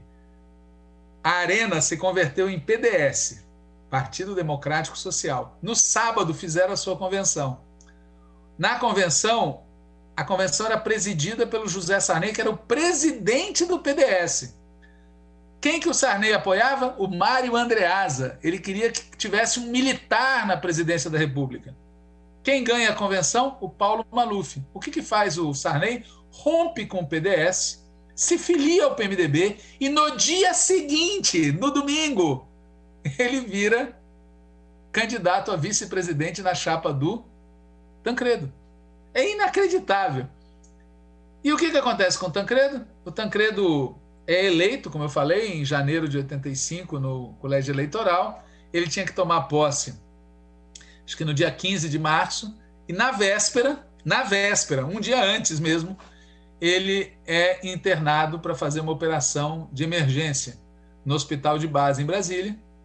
Ele entrou no dia 14 de março e sai no dia 21 de abril morto. E quem assume a presidência da República? o Sarney, aquele que tinha apoiado o Mário Andreazzi, que era o presidente do PDS. Ou seja, por um caminho torto, os militares conseguiram ficar mais três anos fazendo uma transição. Só que em vez de ter um Mário Andreasa, tinha o José Sarney presidindo o país. Né? Tem muita teoria conspiratória sobre o que aconteceu com o Tancredo, mas aparentemente ele realmente teve uma doença, a diverticulite, e como ele estava preocupado com a política, ele preferiu não se internar, e quando se internou já estava a situação. E aí tem todas as, as complicações médicas, um cara já de idade, etc. Aparentemente, é, não foi propriamente um atentado. Né? De toda maneira, na prática, os militares conseguiram fazer a transição, só que de um jeito torto.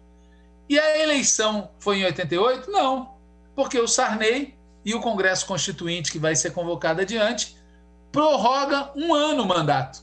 E a eleição presidencial só vai acontecer em 89, quando, pela primeira vez desde 1960, o povo brasileiro recupera o direito de votar. Então, a eleição presidencial, que deveria ter sido em 65, só vai ocorrer em 1989. E aí vem outra tragédia. Quem ganha a eleição presidencial de 89? O Lula? Não. O Brizola? Não. Algum democrata que tenha se oposto à ditadura? Também não. Quem ganha é um filhote da ditadura, como dizia o Leonel Brizola na época, o Fernando Collor de Mello. Então é inacreditável como a ditadura foi prolongada 21 anos conseguiu mais três anos de transição conservadora com o cara que tinha sido presidente, e depois ainda consegue eleger para presidente da República, é eleito um cara que apoiou e era filho de quem tinha apoiado a ditadura, o Collor. É só quando o Itamar assume, depois que o Collor é afastado pelo impeachment, que volta à presidência da República, ao exercício da presidência da República, alguém que fez oposição na época da ditadura. Então, quando a gente vê o efeito é, da ditadura sobre o país, é muito prolongado, é muito trágico. Né? Os problemas econômicos sociais que o país herdou são imensos. Por isso, quem fala que tem saudade da ditadura, ou que pelo menos naquela época teve não sei o quê, não sabe do que está falando, está passando pano num governo brutalmente conservador, entreguista, que apoiou um tipo de desenvolvimento que fez mal para o povo brasileiro a história teria sido melhor se não tivesse é, golpe nem ditadura militar. E o, o mais grave é que, depois de um período de presidentes civis que se opuseram à, à ditadura, então o Itamar, que foi vice do Collor e assumiu depois do impeachment, o Fernando Henrique, que também foi um dos caçados, foi exilado, etc o Lula, que teve à frente das grandes mobilizações populares que ajudaram a acabar com a ditadura, e a Dilma, que foi quem participou da luta armada contra a ditadura e foi presa, torturada por isso. Ou seja, nós tivemos quatro presidentes de gente que se opôs à ditadura, com mais ou menos radicalidade, mas se opôs. Aí a gente tem de volta um cavernícola que tem saudade da ditadura, defende a ditadura, defende a tortura, defende a repressão, gosta do AI-5. É, isso revela como, dentro da sociedade brasileira, das instituições brasileiras, persiste esse veneno, tá certo? Esse vírus está lá, tá certo? Quando o organismo enfraquece, ele vem, né? Doença autoimune, né? Ele vem com tudo. Né?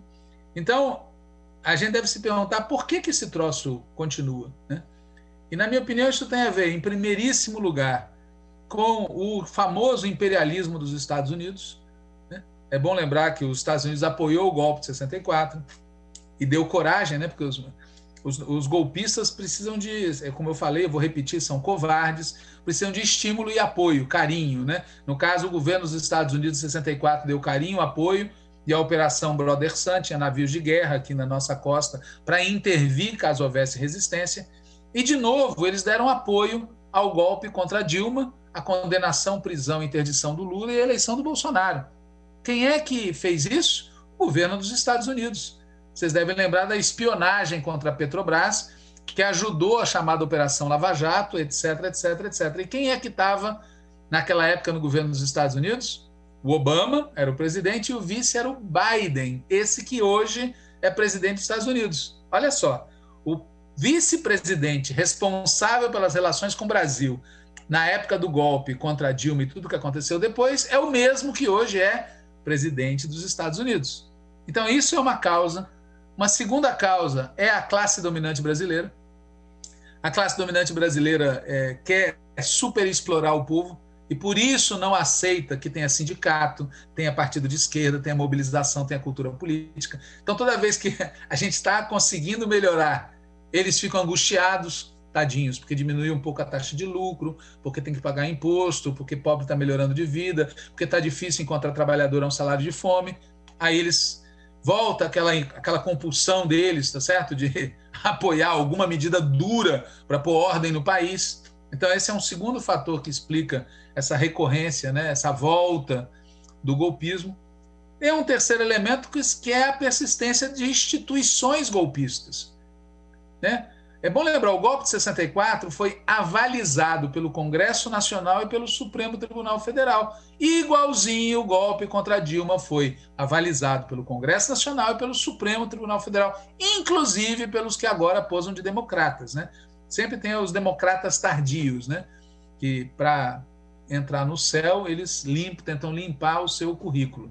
Então, essas instituições são um viveiro de golpistas é o Congresso Nacional, o Supremo Tribunal Federal e, destacadamente, as Forças Armadas e os meios de comunicação. Né? Hoje, por exemplo, o jornal O Globo soltou um editorial cobrando do Supremo Tribunal Federal que preserve a Operação Lava Jato, ou seja, preserve a narrativa que justificou o golpe, que todo mundo com um mínimo lé concreto sabe que é uma fraude. Então, é, essas instituições, em especial as Forças Armadas, precisam passar por uma reestruturação de alto a baixo. E a reestruturação começa rompendo com essa mitologia que eles insistem até hoje de que o golpe foi em defesa da democracia. Não foi. O golpe militar de 64, se vocês lerem as ordens do dia desse ano, do ano passado, do ano retrasado, eles pintam o golpe de 64 como em defesa da democracia. E aí, se eles cometeram excessos, tipo torturar, matar, ah, ah foi em defesa da democracia. Mentira! Não foi em defesa da democracia. Se tivesse sido, por que, que eles suspenderam a eleição de 65? Por que, que eles fecharam o Congresso? Por que eles alteraram a legislação? Eles não tinham apoio do povo? Não tinham. Esse é o problema. E quem não tem apoio do povo não pode falar que está agindo em nome da democracia. E então, assim, é, para mim, esse é um elemento é chave. Se a gente não tiver coragem de enfrentar esse tema das Forças Armadas, dos meios de comunicação, da composição do Congresso Nacional, que é majoritariamente composto por homens brancos, ricos, tá certo? Se a gente não tiver coragem de mudar o método de composição do Supremo Tribunal Federal, das instituições judiciais, para ter instituições sejam democráticas, que não sejam instituições de elite. Se a gente não tiver coragem de enfrentar a classe dominante brasileira e o imperialismo, vai ser o tempo todo assim. Vai ter momentos de redemocratização e evento golpe. De redemo... E sempre vai ser vai ser assim, eles fazem a barbaridade, depois de uns 5 anos, 10 anos, 15 anos, eles pedem desculpas parciais pelos que fizeram. E a vida continua. É um negócio de violência continuada. Oh, desculpa aí, pau! desculpa aí, pau. É assim que eles funcionam. Então é um negócio muito inacreditável que só tem um jeito: disposição de mudar as instituições, mudar a estrutura social, mudar a relação com os Estados Unidos e disposição de punir, julgar, condenar quem cometeu o crime. Porque o efeito prático, eu queria encerrar com isso, o efeito prático, por exemplo, de não ter punido quem torturou, quem assassinou, quem desapareceu corpos na época da ditadura, é que ainda hoje as polícias continuam fazendo isso com o povo comum. É esse o efeito prático. Porque se o mau exemplo vem de cima, por que, que o cara lá embaixo vai fazer diferente? Muito bem, dona vereadora Margarida Calisto. Eu terminei, você não me interrompeu, eu fui falando. Mas agora eu Não, mas é porque foi uma ótima aula.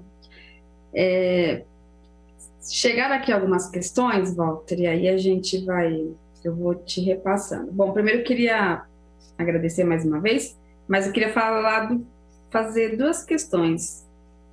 A gente é, sabe o que, que é do ponto de vista da consciência social, você falou bastante isso, mas isso, essa coisa da gente ainda ouvir pessoas que falaram assim, ah, na época da ditadura era, era bom, né? Bom, eu é, nasci no ano da ditadura, no período né, da ditadura militar, nasci em 1970, e meus pais tiveram que vir embora para Campinas, fugidos da ditadura. E eu lembro que a gente tinha uma vida muito difícil, mas muito difícil.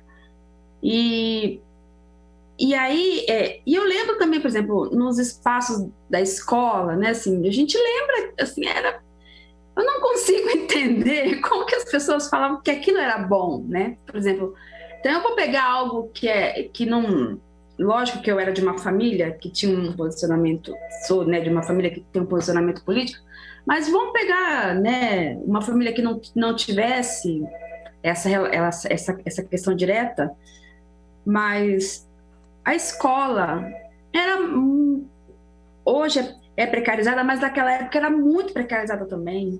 Era uma miséria. Eu lembro da alimentação escolar, a merenda que vinha para gente, era um horror. Então, assim, aí eu não consigo entender quando as pessoas falam, né?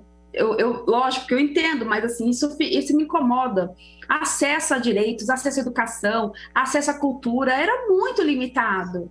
Era uma miséria terrível. E aí eu, isso me incomoda quando as pessoas falam assim: ah, na época da ditadura era bom né? Enfim. E a outra questão que me incomoda é, é algo que também acontece hoje. Veja, eu sou vereadora na cidade e eu fui eleita pelo voto direto, né? Pelo voto por um direito constitucionalmente garantido, que é de todo cidadão brasileiro. Toda pessoa na condição de cidadão tem o direito a votar, né? E, e também de ser eleito. É, isso é algo que a democracia permite, né, o voto popular, a participação, o sufrágio universal. Aí eu vejo parlamentares que ocupam hoje também, que foram eleitos pelo voto, né, pelo voto direto, pela, pela eleição.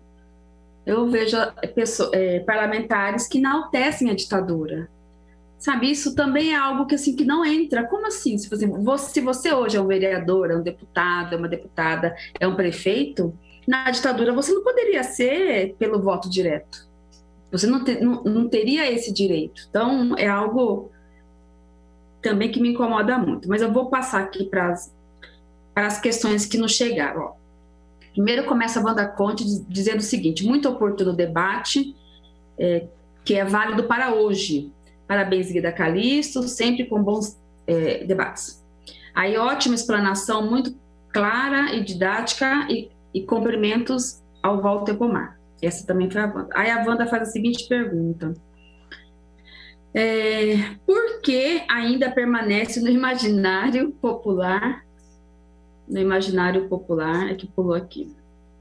Uh, por que, que ainda permanece no imaginário popular, que os militares vão consertar a situação? A mesma rejeição às reformas de base de Jango é o antipetismo que elegeu Bolsonaro? Essa é questão da, da Wanda. Aí vem a questão da Valquíria. Eu vou ler todas aqui, que são mais, só mais duas. Aí eu, eu te passo a volta para responder. Aí, a, aí vem a questão da Valquíria. Valquíria dos Santos, da região Ouro Verde, ela fala o seguinte: a prova que o exército não sabe comandar guerras e nem o governo foi a gestão desastrosa e criminosa de Pazuello à frente do Ministério da Saúde. É, Bolsonaro faz um governo desastroso e está ficando acuado perdendo apoios e sofrendo derrotas no STF, ontem foi sobre o decreto das armas. Agora está acuado com a instalação da CPI e tenta intervir, como mostrou o áudio com o Cajuru. Diante disso, você acha que ele, em ato de desespero, pode baixar o novo AI-5 para, poder, para se manter no poder? Aí vem a última pergunta aqui do Silas Eduardo de Souza, que pergunta o seguinte: pergunta ao Walter, é, como você percebe a presença negra, como você percebe a presença negra na resistência à ditadura? Pode trazer à memória alguns desses companheiros e companheiras? Acho que são essas questões, Walter. Aí, se você puder responder. Então, eu vou começar comentando algo que você disse, eh, vereadora Margarida Calisto que é essa, essa ideia que as pessoas têm de que na ditadura era melhor. Mas quem tem essa ideia? O problema é que quem conta a história não é o povo. A maior parte das histórias que são contadas, dos livros que são publicados, das memórias que são editadas, dos programas que saem na televisão, não refletem um ponto de vista da massa do povo. O povo faz a história, mas quem conta a história é um pedaço do povo que tem melhores condições. E uma grande parte desse pedaço que tem melhores condições é gente de elite, que, por um lado, viveu de outro jeito, e, por outro lado, prefere contar a história passada de outro jeito. Então, é, essa questão do quem conta a história é fundamental. Por isso que é muito importante que a memória é, da população comum tenha espaço naquilo que a gente estuda, naquilo que a gente ensina, naquilo que a gente conhece.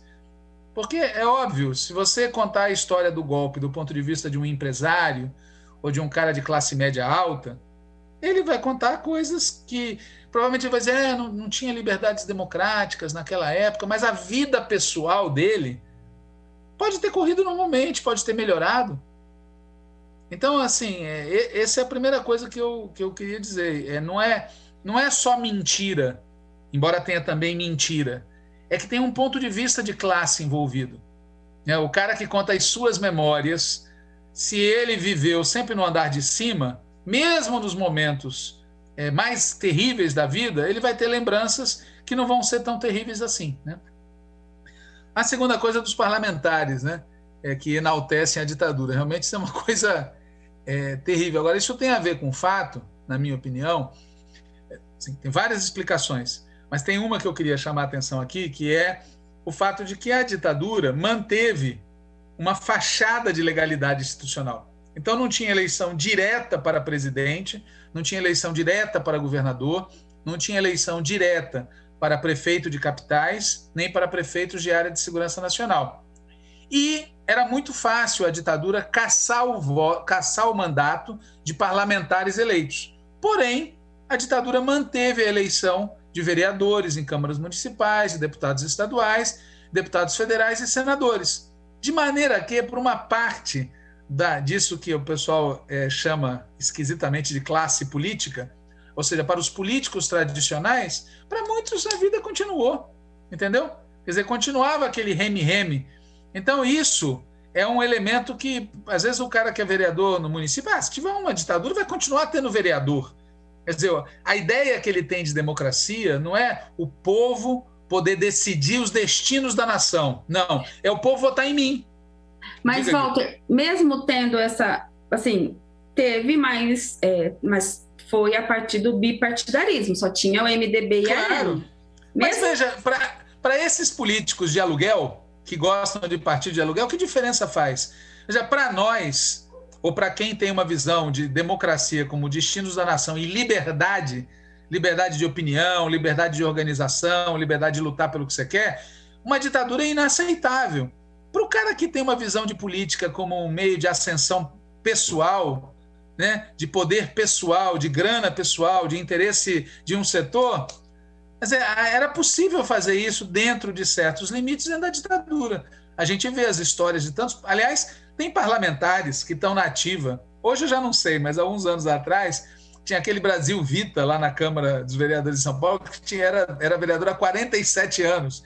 O cara continuou assim, para ele, entendeu? Ele passou a ser apoiador da ditadura, e se a ditadura mandasse o partido chamar Partido dos Palhaços, ele. Ah, não posso falar dos Klaus, que o Coré briga comigo, tá certo? Partido das Pessoas Ruins. Ele ia entrar no Partido das Pessoas Ruins, porque para ele a política é isso, né? Então, eu acho que isso é um aspecto. Agora, eu concordo contigo, é um, é um escândalo o cara ser eleito pelo voto popular e achar admissível um governo que vai eliminar o voto popular. Ele mostra do nível é, de uma parte dos políticos brasileiros. Né?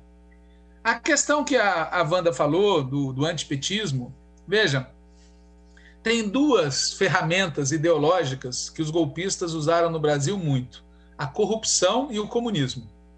Então, contra o Juscelino Kubitschek, era um governo corrupto. Contra o Getúlio Vargas, era um governo corrupto. Contra o Goulart, era um governo corrupto.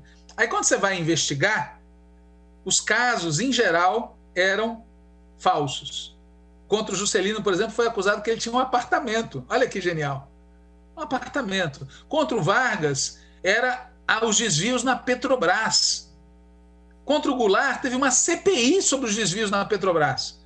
Então, assim, essa coisa do discurso contra a corrupção é um discurso que os golpistas usam o tempo todo. Não é que não exista corrupção, claro que tem corrupção. Aliás, em geral, a corrupção é feita pelos empresários que apoiam o golpe e pelos golpistas. Mas eles usam com a maior cara de pau esse discurso contra a esquerda, contra os governos populares, contra os governos democráticos. Então, esse é um discurso. E o outro discurso é o discurso do anticomunismo. Precisamos derrubar o governo João Goulart para derrubar o comunismo. Ainda hoje, leiam a ordem do dia desse 31 de março de 2021. Eles dizem que o golpe era para impedir a ascensão do comunismo. O general Mourão, o vice, não a vaca fardada, o vice, tá certo? Soltou um tweet agora para dizer que o golpe foi para impedir. Primeiro, o seguinte: os comunistas no Brasil sempre foram uma força minoritária o golpe de 64 foi contra o presidente João Goulart, que era um latifundiário. Só que um latifundiário que defendia a soberania nacional, defendia reformas populares. Ele não era comunista. O Brizola nunca foi comunista, nem naquela época. Ele era um nacionalista radical. Então, por que, que eles usavam o discurso do comunismo? Aí eu acho que tem vários motivos. Um é que o perigo que eles viam é que um Brasil soberano preocupado consigo mesmo, não ia ser capacho dos Estados Unidos. E como tinha uma disputa entre Estados Unidos e União Soviética, na cabeça deles, quem não é capacho de um vai ser capacho do outro. Então, esse era um motivo. O segundo motivo é que eles imaginavam que se o povo começar a viver melhor, o povo vai querer mais, mais, mais. E algum dia, gente, eles vão querer receber um salário decente. E isso é comunismo. Isso não é comunismo. Mas na cabeça dessa elite que a gente tem, qualquer coisa, até até pagar imposto, eles acham. Não teve, eu vi hoje de manhã uma, uma postagem no Facebook genial. Duas senhoras numa manifestação de negacionistas, agora há pouco. Agora. Esse pessoal que acha que o vírus é na rua, sem máscara, sem nada, cheio de verde e amarelo, com dois cartazes não é pandemia, é comunismo. Então, que, que, entende? É um nível de loucura, mas a, o motivo é a elite brasileira é tão egoísta, mas tão egoísta que qualquer política que distribua um pouco a renda, eles acham que é comunismo. E o terceiro motivo é a classe média. A classe média brasileira ela tem mais medo de pobre do que medo de rico. Devia ser o contrário o, o, o, cidadão que a gente chama de classe média, setores médios, que recebe um salário melhor, que tem uma pequena propriedade, ele devia entender que a maior ameaça a ele é o andar de cima, não é o andar de baixo. Porque vamos combinar, né? Por exemplo, o cara que é um pequeno proprietário, ele quer que tenha pessoas que vão lá consumir. É bom para ele que as pessoas recebam o melhor salário. É bom. É melhor viver num mundo que não precisa ser um condomínio fechado, com segurança privada. É melhor ter sistema de saúde público do sistema de saúde privada. É melhor ter educação. Por que, que na Europa, que esses babacas acham que é tão legal, eles não olham o que tem de realmente legal? Que é ter mais educação pública, mais saúde pública. Você vai, por exemplo, é, numa cidade como Dublin, na Irlanda, não tem muro nas casas. Não tem muro, por quê? Porque tem mais igualdade social. As pessoas não vivem com medo. Aqui, aqui em Campinas é cheio de condomínio fechado, né? Segurança privada, condomínio fechado, muro alto. Por quê? Medo. Então, assim, os setores médios, em vez de ter medo de pobre, deviam ter raiva de rico, raiva dos poderosos. E o discurso do anticomunismo mexe com essas pessoas, porque elas ficam imaginando, ah, eu vou ter que dividir, como eles falaram em 89 contra o Lula, né? Se o Lula ganhasse, ele ia confiscar a poupança da classe média. O Collor ganhou e o que ele fez? Confiscou a poupança. Bom, então tem sim uma relação entre esse discurso anticomunista que eles sempre usaram e o chamado antipetismo. O antipetismo é o anticomunismo do século XXI. É a mesma pegada, a mesma coisa. Isso não quer dizer, pessoal, eu sou é, filiado ao PT, sou militante do PT, sou dirigente do PT. Isso não quer dizer que o PT não tenha erros, não tenha problemas, tá certo? Não quer dizer nada disso. Quer dizer só que o antipetismo é uma barbaridade, porque o antipetismo atribui ao PT coisas e atitudes e desejos que o PT não tem, e pior, tem medo daquilo que de positivo o PT tem. Porque, no fundo, o antipetismo é o medo da soberania nacional, é o medo da igualdade social, é o medo da liberdade democrática, é o medo de um desenvolvimento diferente, que seja em benefício da maioria do povo. O antipetismo é isso, é medo de a gente ter um país melhor. E quem é que tem esse medo? Os que se beneficiam do status quo. É isso. É, esses caras têm medo. O antipetismo é produto disso, né?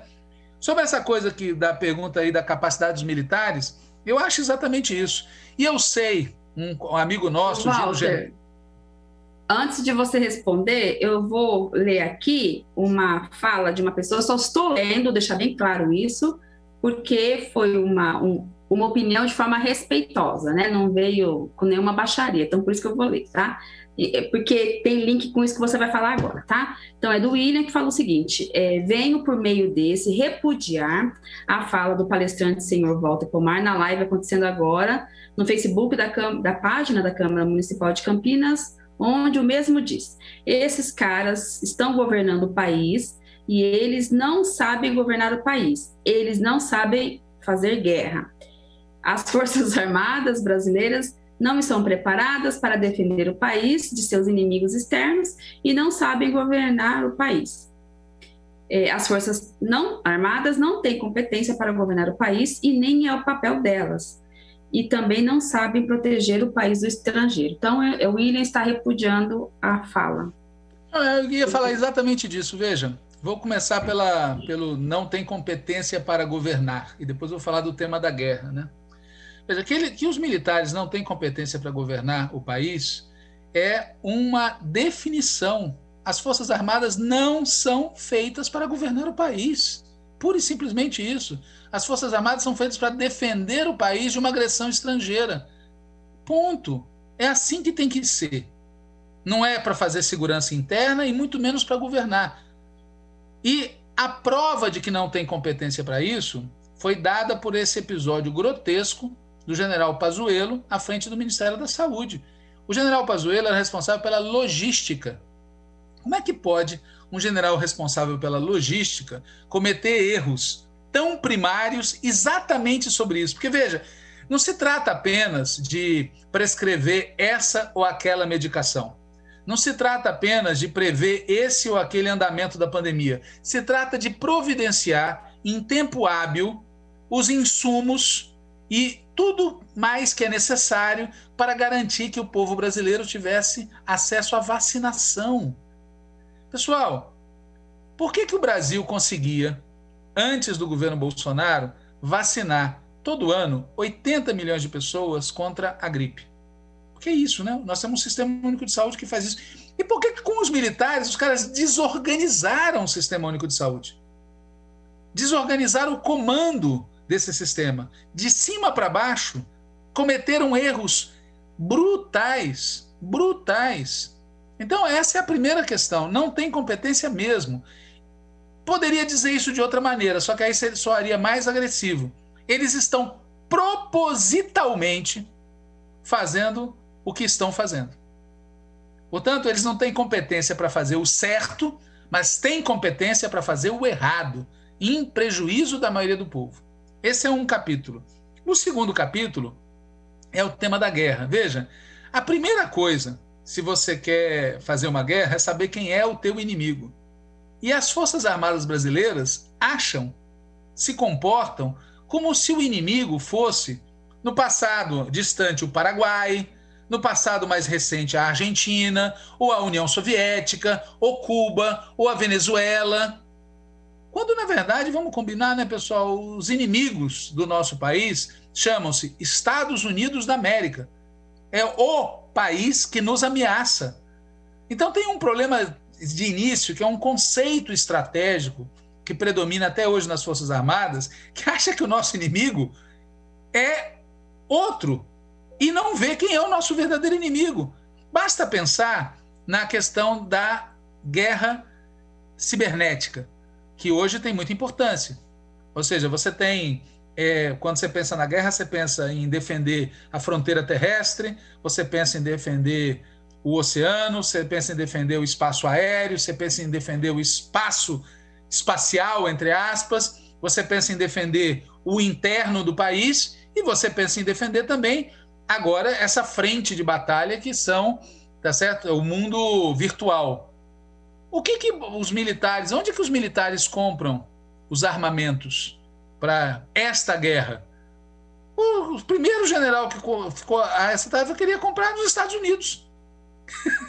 Ou seja, entregar para as empresas privadas de inteligência. E o que que. Então, assim, nós estamos diante de forças armadas que não demonstram é, uma visão estratégica e mais, poucos, pouquíssimos casos de experiência em combate, e esses pouquíssimos casos foram é, tidos no Haiti. Nas famosas operações de garantia de lei e ordem, vamos usar o termo que eles usam quando se faz aqui no Brasil. Ou seja, é ação policial então, eu não tenho dúvida nenhuma, e sei, eu quero falar isso aqui claramente, um amigo nosso escreveu a respeito aqui para mim, sei que provavelmente há militares ouvindo isso. E sei provavelmente o que passa pela cabeça dos militares que estão escutando isso. Só que eu acho que é necessário que o povo brasileiro debata que nós precisamos ter forças armadas à altura do que o país precisa. Eu sou favorável a ter forças armadas poderosas, capazes de enfrentar os Estados Unidos. E não enxergo nas Forças Armadas Brasileiras capacidade, vontade, disposição e técnica para fazer isso. Esse é o problema. E se a gente não disser isso claramente, ficar com medo, como tem muita gente da esquerda que tem medo, porque acha, ah, os...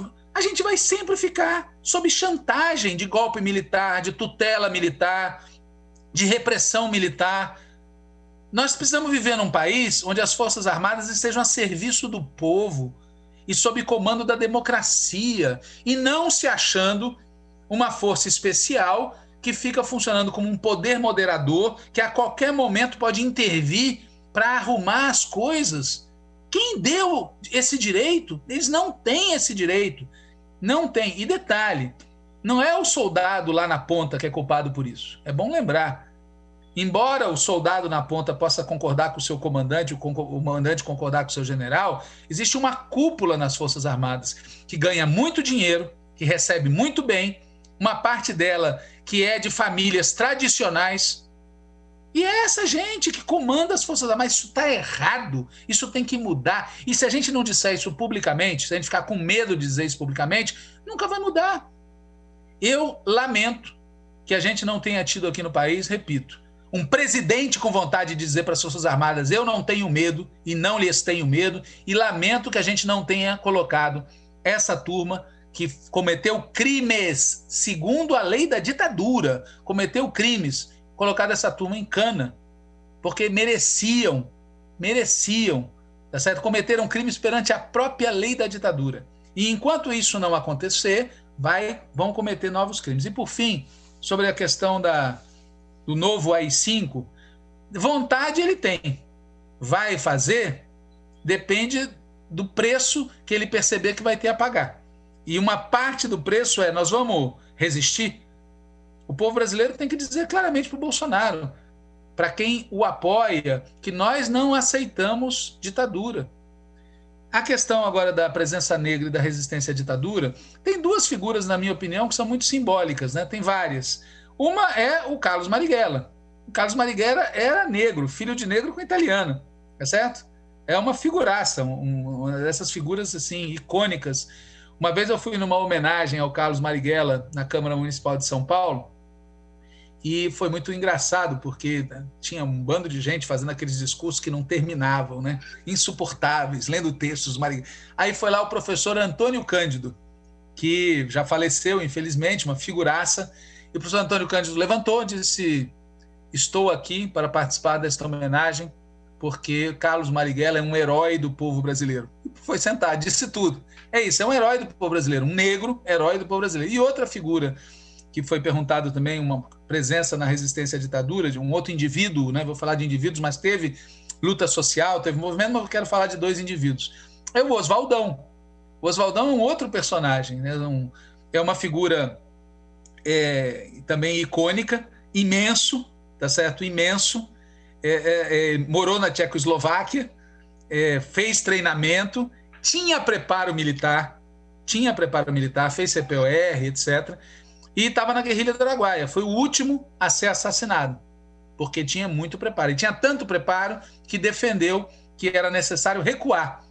Porque você sabe que os militares atacaram o Araguaia primeiro com tropas despreparadas e depois foram com paraquedistas e com cerco, com técnicas de repressão à ditadura, etc. E o Oswaldão, que tinha preparo militar, disse: vamos recuar. Infelizmente, prevaleceu entre os guerrilheiros a ideia voluntarista de permanecer lá, como se recuar fosse covardia. Né? Às vezes, recuar é um ato de inteligência. Né? É, o Oswaldão obedeceu às ordens, permaneceu até o fim e foi o último a ser é, assassinado. E é interessante porque até hoje tem gente lá na região que lembra dele, porque ele era um personagem também desses icônicos, né? uma figura imensa, né? um negro com um sorriso lindíssimo, e, enfim, é uma outra figura muito, muito importante. E, de maneira geral, é bom lembrar que aqui no Brasil, que é um país brutalmente racista, né, a esquerda brasileira em geral, os comunistas, os socialistas, os revolucionários, sim, lutaram contra o racismo. Lutaram porque a maior parte da classe trabalhadora é negra. Não tem como falar em lutar pelo socialismo aqui no Brasil se isso não envolver a classe trabalhadora, que na sua imensa maioria é negra e que sofre não só a opressão econômico-social, mas também uma opressão racial brutal. É isso. Obrigada, Walter. Então, é, encerraram aqui algumas questões. Acho que só a Valquíria que voltou a dizer, né, a fazer uma referência aqui, que essa coisa que o Walter colocou, né? É, vocês viram as faixas que apoiadores do Bolsonaro levaram às ruas no domingo, acho que isso que o Walter falou, pela criminalização do comunismo, né? Então, é, a, a Valquíria faz referência a isso. Quero aqui agradecer quem participou, quem, quem enviou questões, quem, quem assistiu aqui esse debate. Foi uma, uma verdadeira aula. Eu vou guardar essa aula aqui para rever porque os, os detalhes colocados aqui foi, foram bastante importantes, pertinentes, nos ajuda a fazer uma, uma leitura tanto do passado como do presente. É, agradecer é, o pessoal aqui da TV Câmara, né, mais uma vez, que oportunizou aqui esse espaço virtual, os funcionários. Agradecer também ao companheiro querido Walter Omar, é, ah, chegou uma questão aqui, volta, mas aí depois eu, eu te passo, tá? E aí a gente envia, porque a pessoa deixou o e-mail. A Maria Cristina de Oliveira fala o seguinte: na sequência da história que o professor está contatando, peço ao professor gentileza de avaliar os 16 anos do PT no poder. A Maria Cristina de Oliveira. Bom, o Walter já escreveu muito sobre isso, Então a gente pode, eu posso te repassar, Walter, e aí também a gente pode repassar para Maria Cristina aí, que fez essa questão. Se você quiser fazer aí as suas considerações finais, tá? A gente já vai indo concluindo então o debate de hoje. Acho que tudo, só agradecer a você, vereadora Margarida Calisto, também conhecida como Guida, e ao pessoal aí da Câmara por ter proporcionado essa. E dizer isso, eu, eu acho que esse tema da ditadura e do golpe é um tema muito atual e não dá para ter meias palavras em relação a isso. É, a, o golpe ocorreu em 64 porque houve vacilo na defesa da democracia. E a gente não tem que ter vacilo na defesa da democracia. Só isso. Obrigado. Valeu, Walter. E é isso, né? A gente é, garantir que um espaço como esse da TV Câmara, da Câmara Municipal, enfim, tenham, tenham debates que possam refletir os vários, os múltiplos pensamentos que compõem a sociedade. Então, agradecer aí o Walter mais uma vez pela bela explanação, pela aula aqui dada. Quem quiser assistir depois, é só acessar aí as redes sociais, inclusive tem um site, né? guida.net.br, nosso site também fica ali, é, fica ali armazenado esse, esse vídeo aqui dessa excelente aula. Obrigada, Walter, obrigada a todas e todos que nos acompanharam. Tchau, pessoal, até o próximo debate público.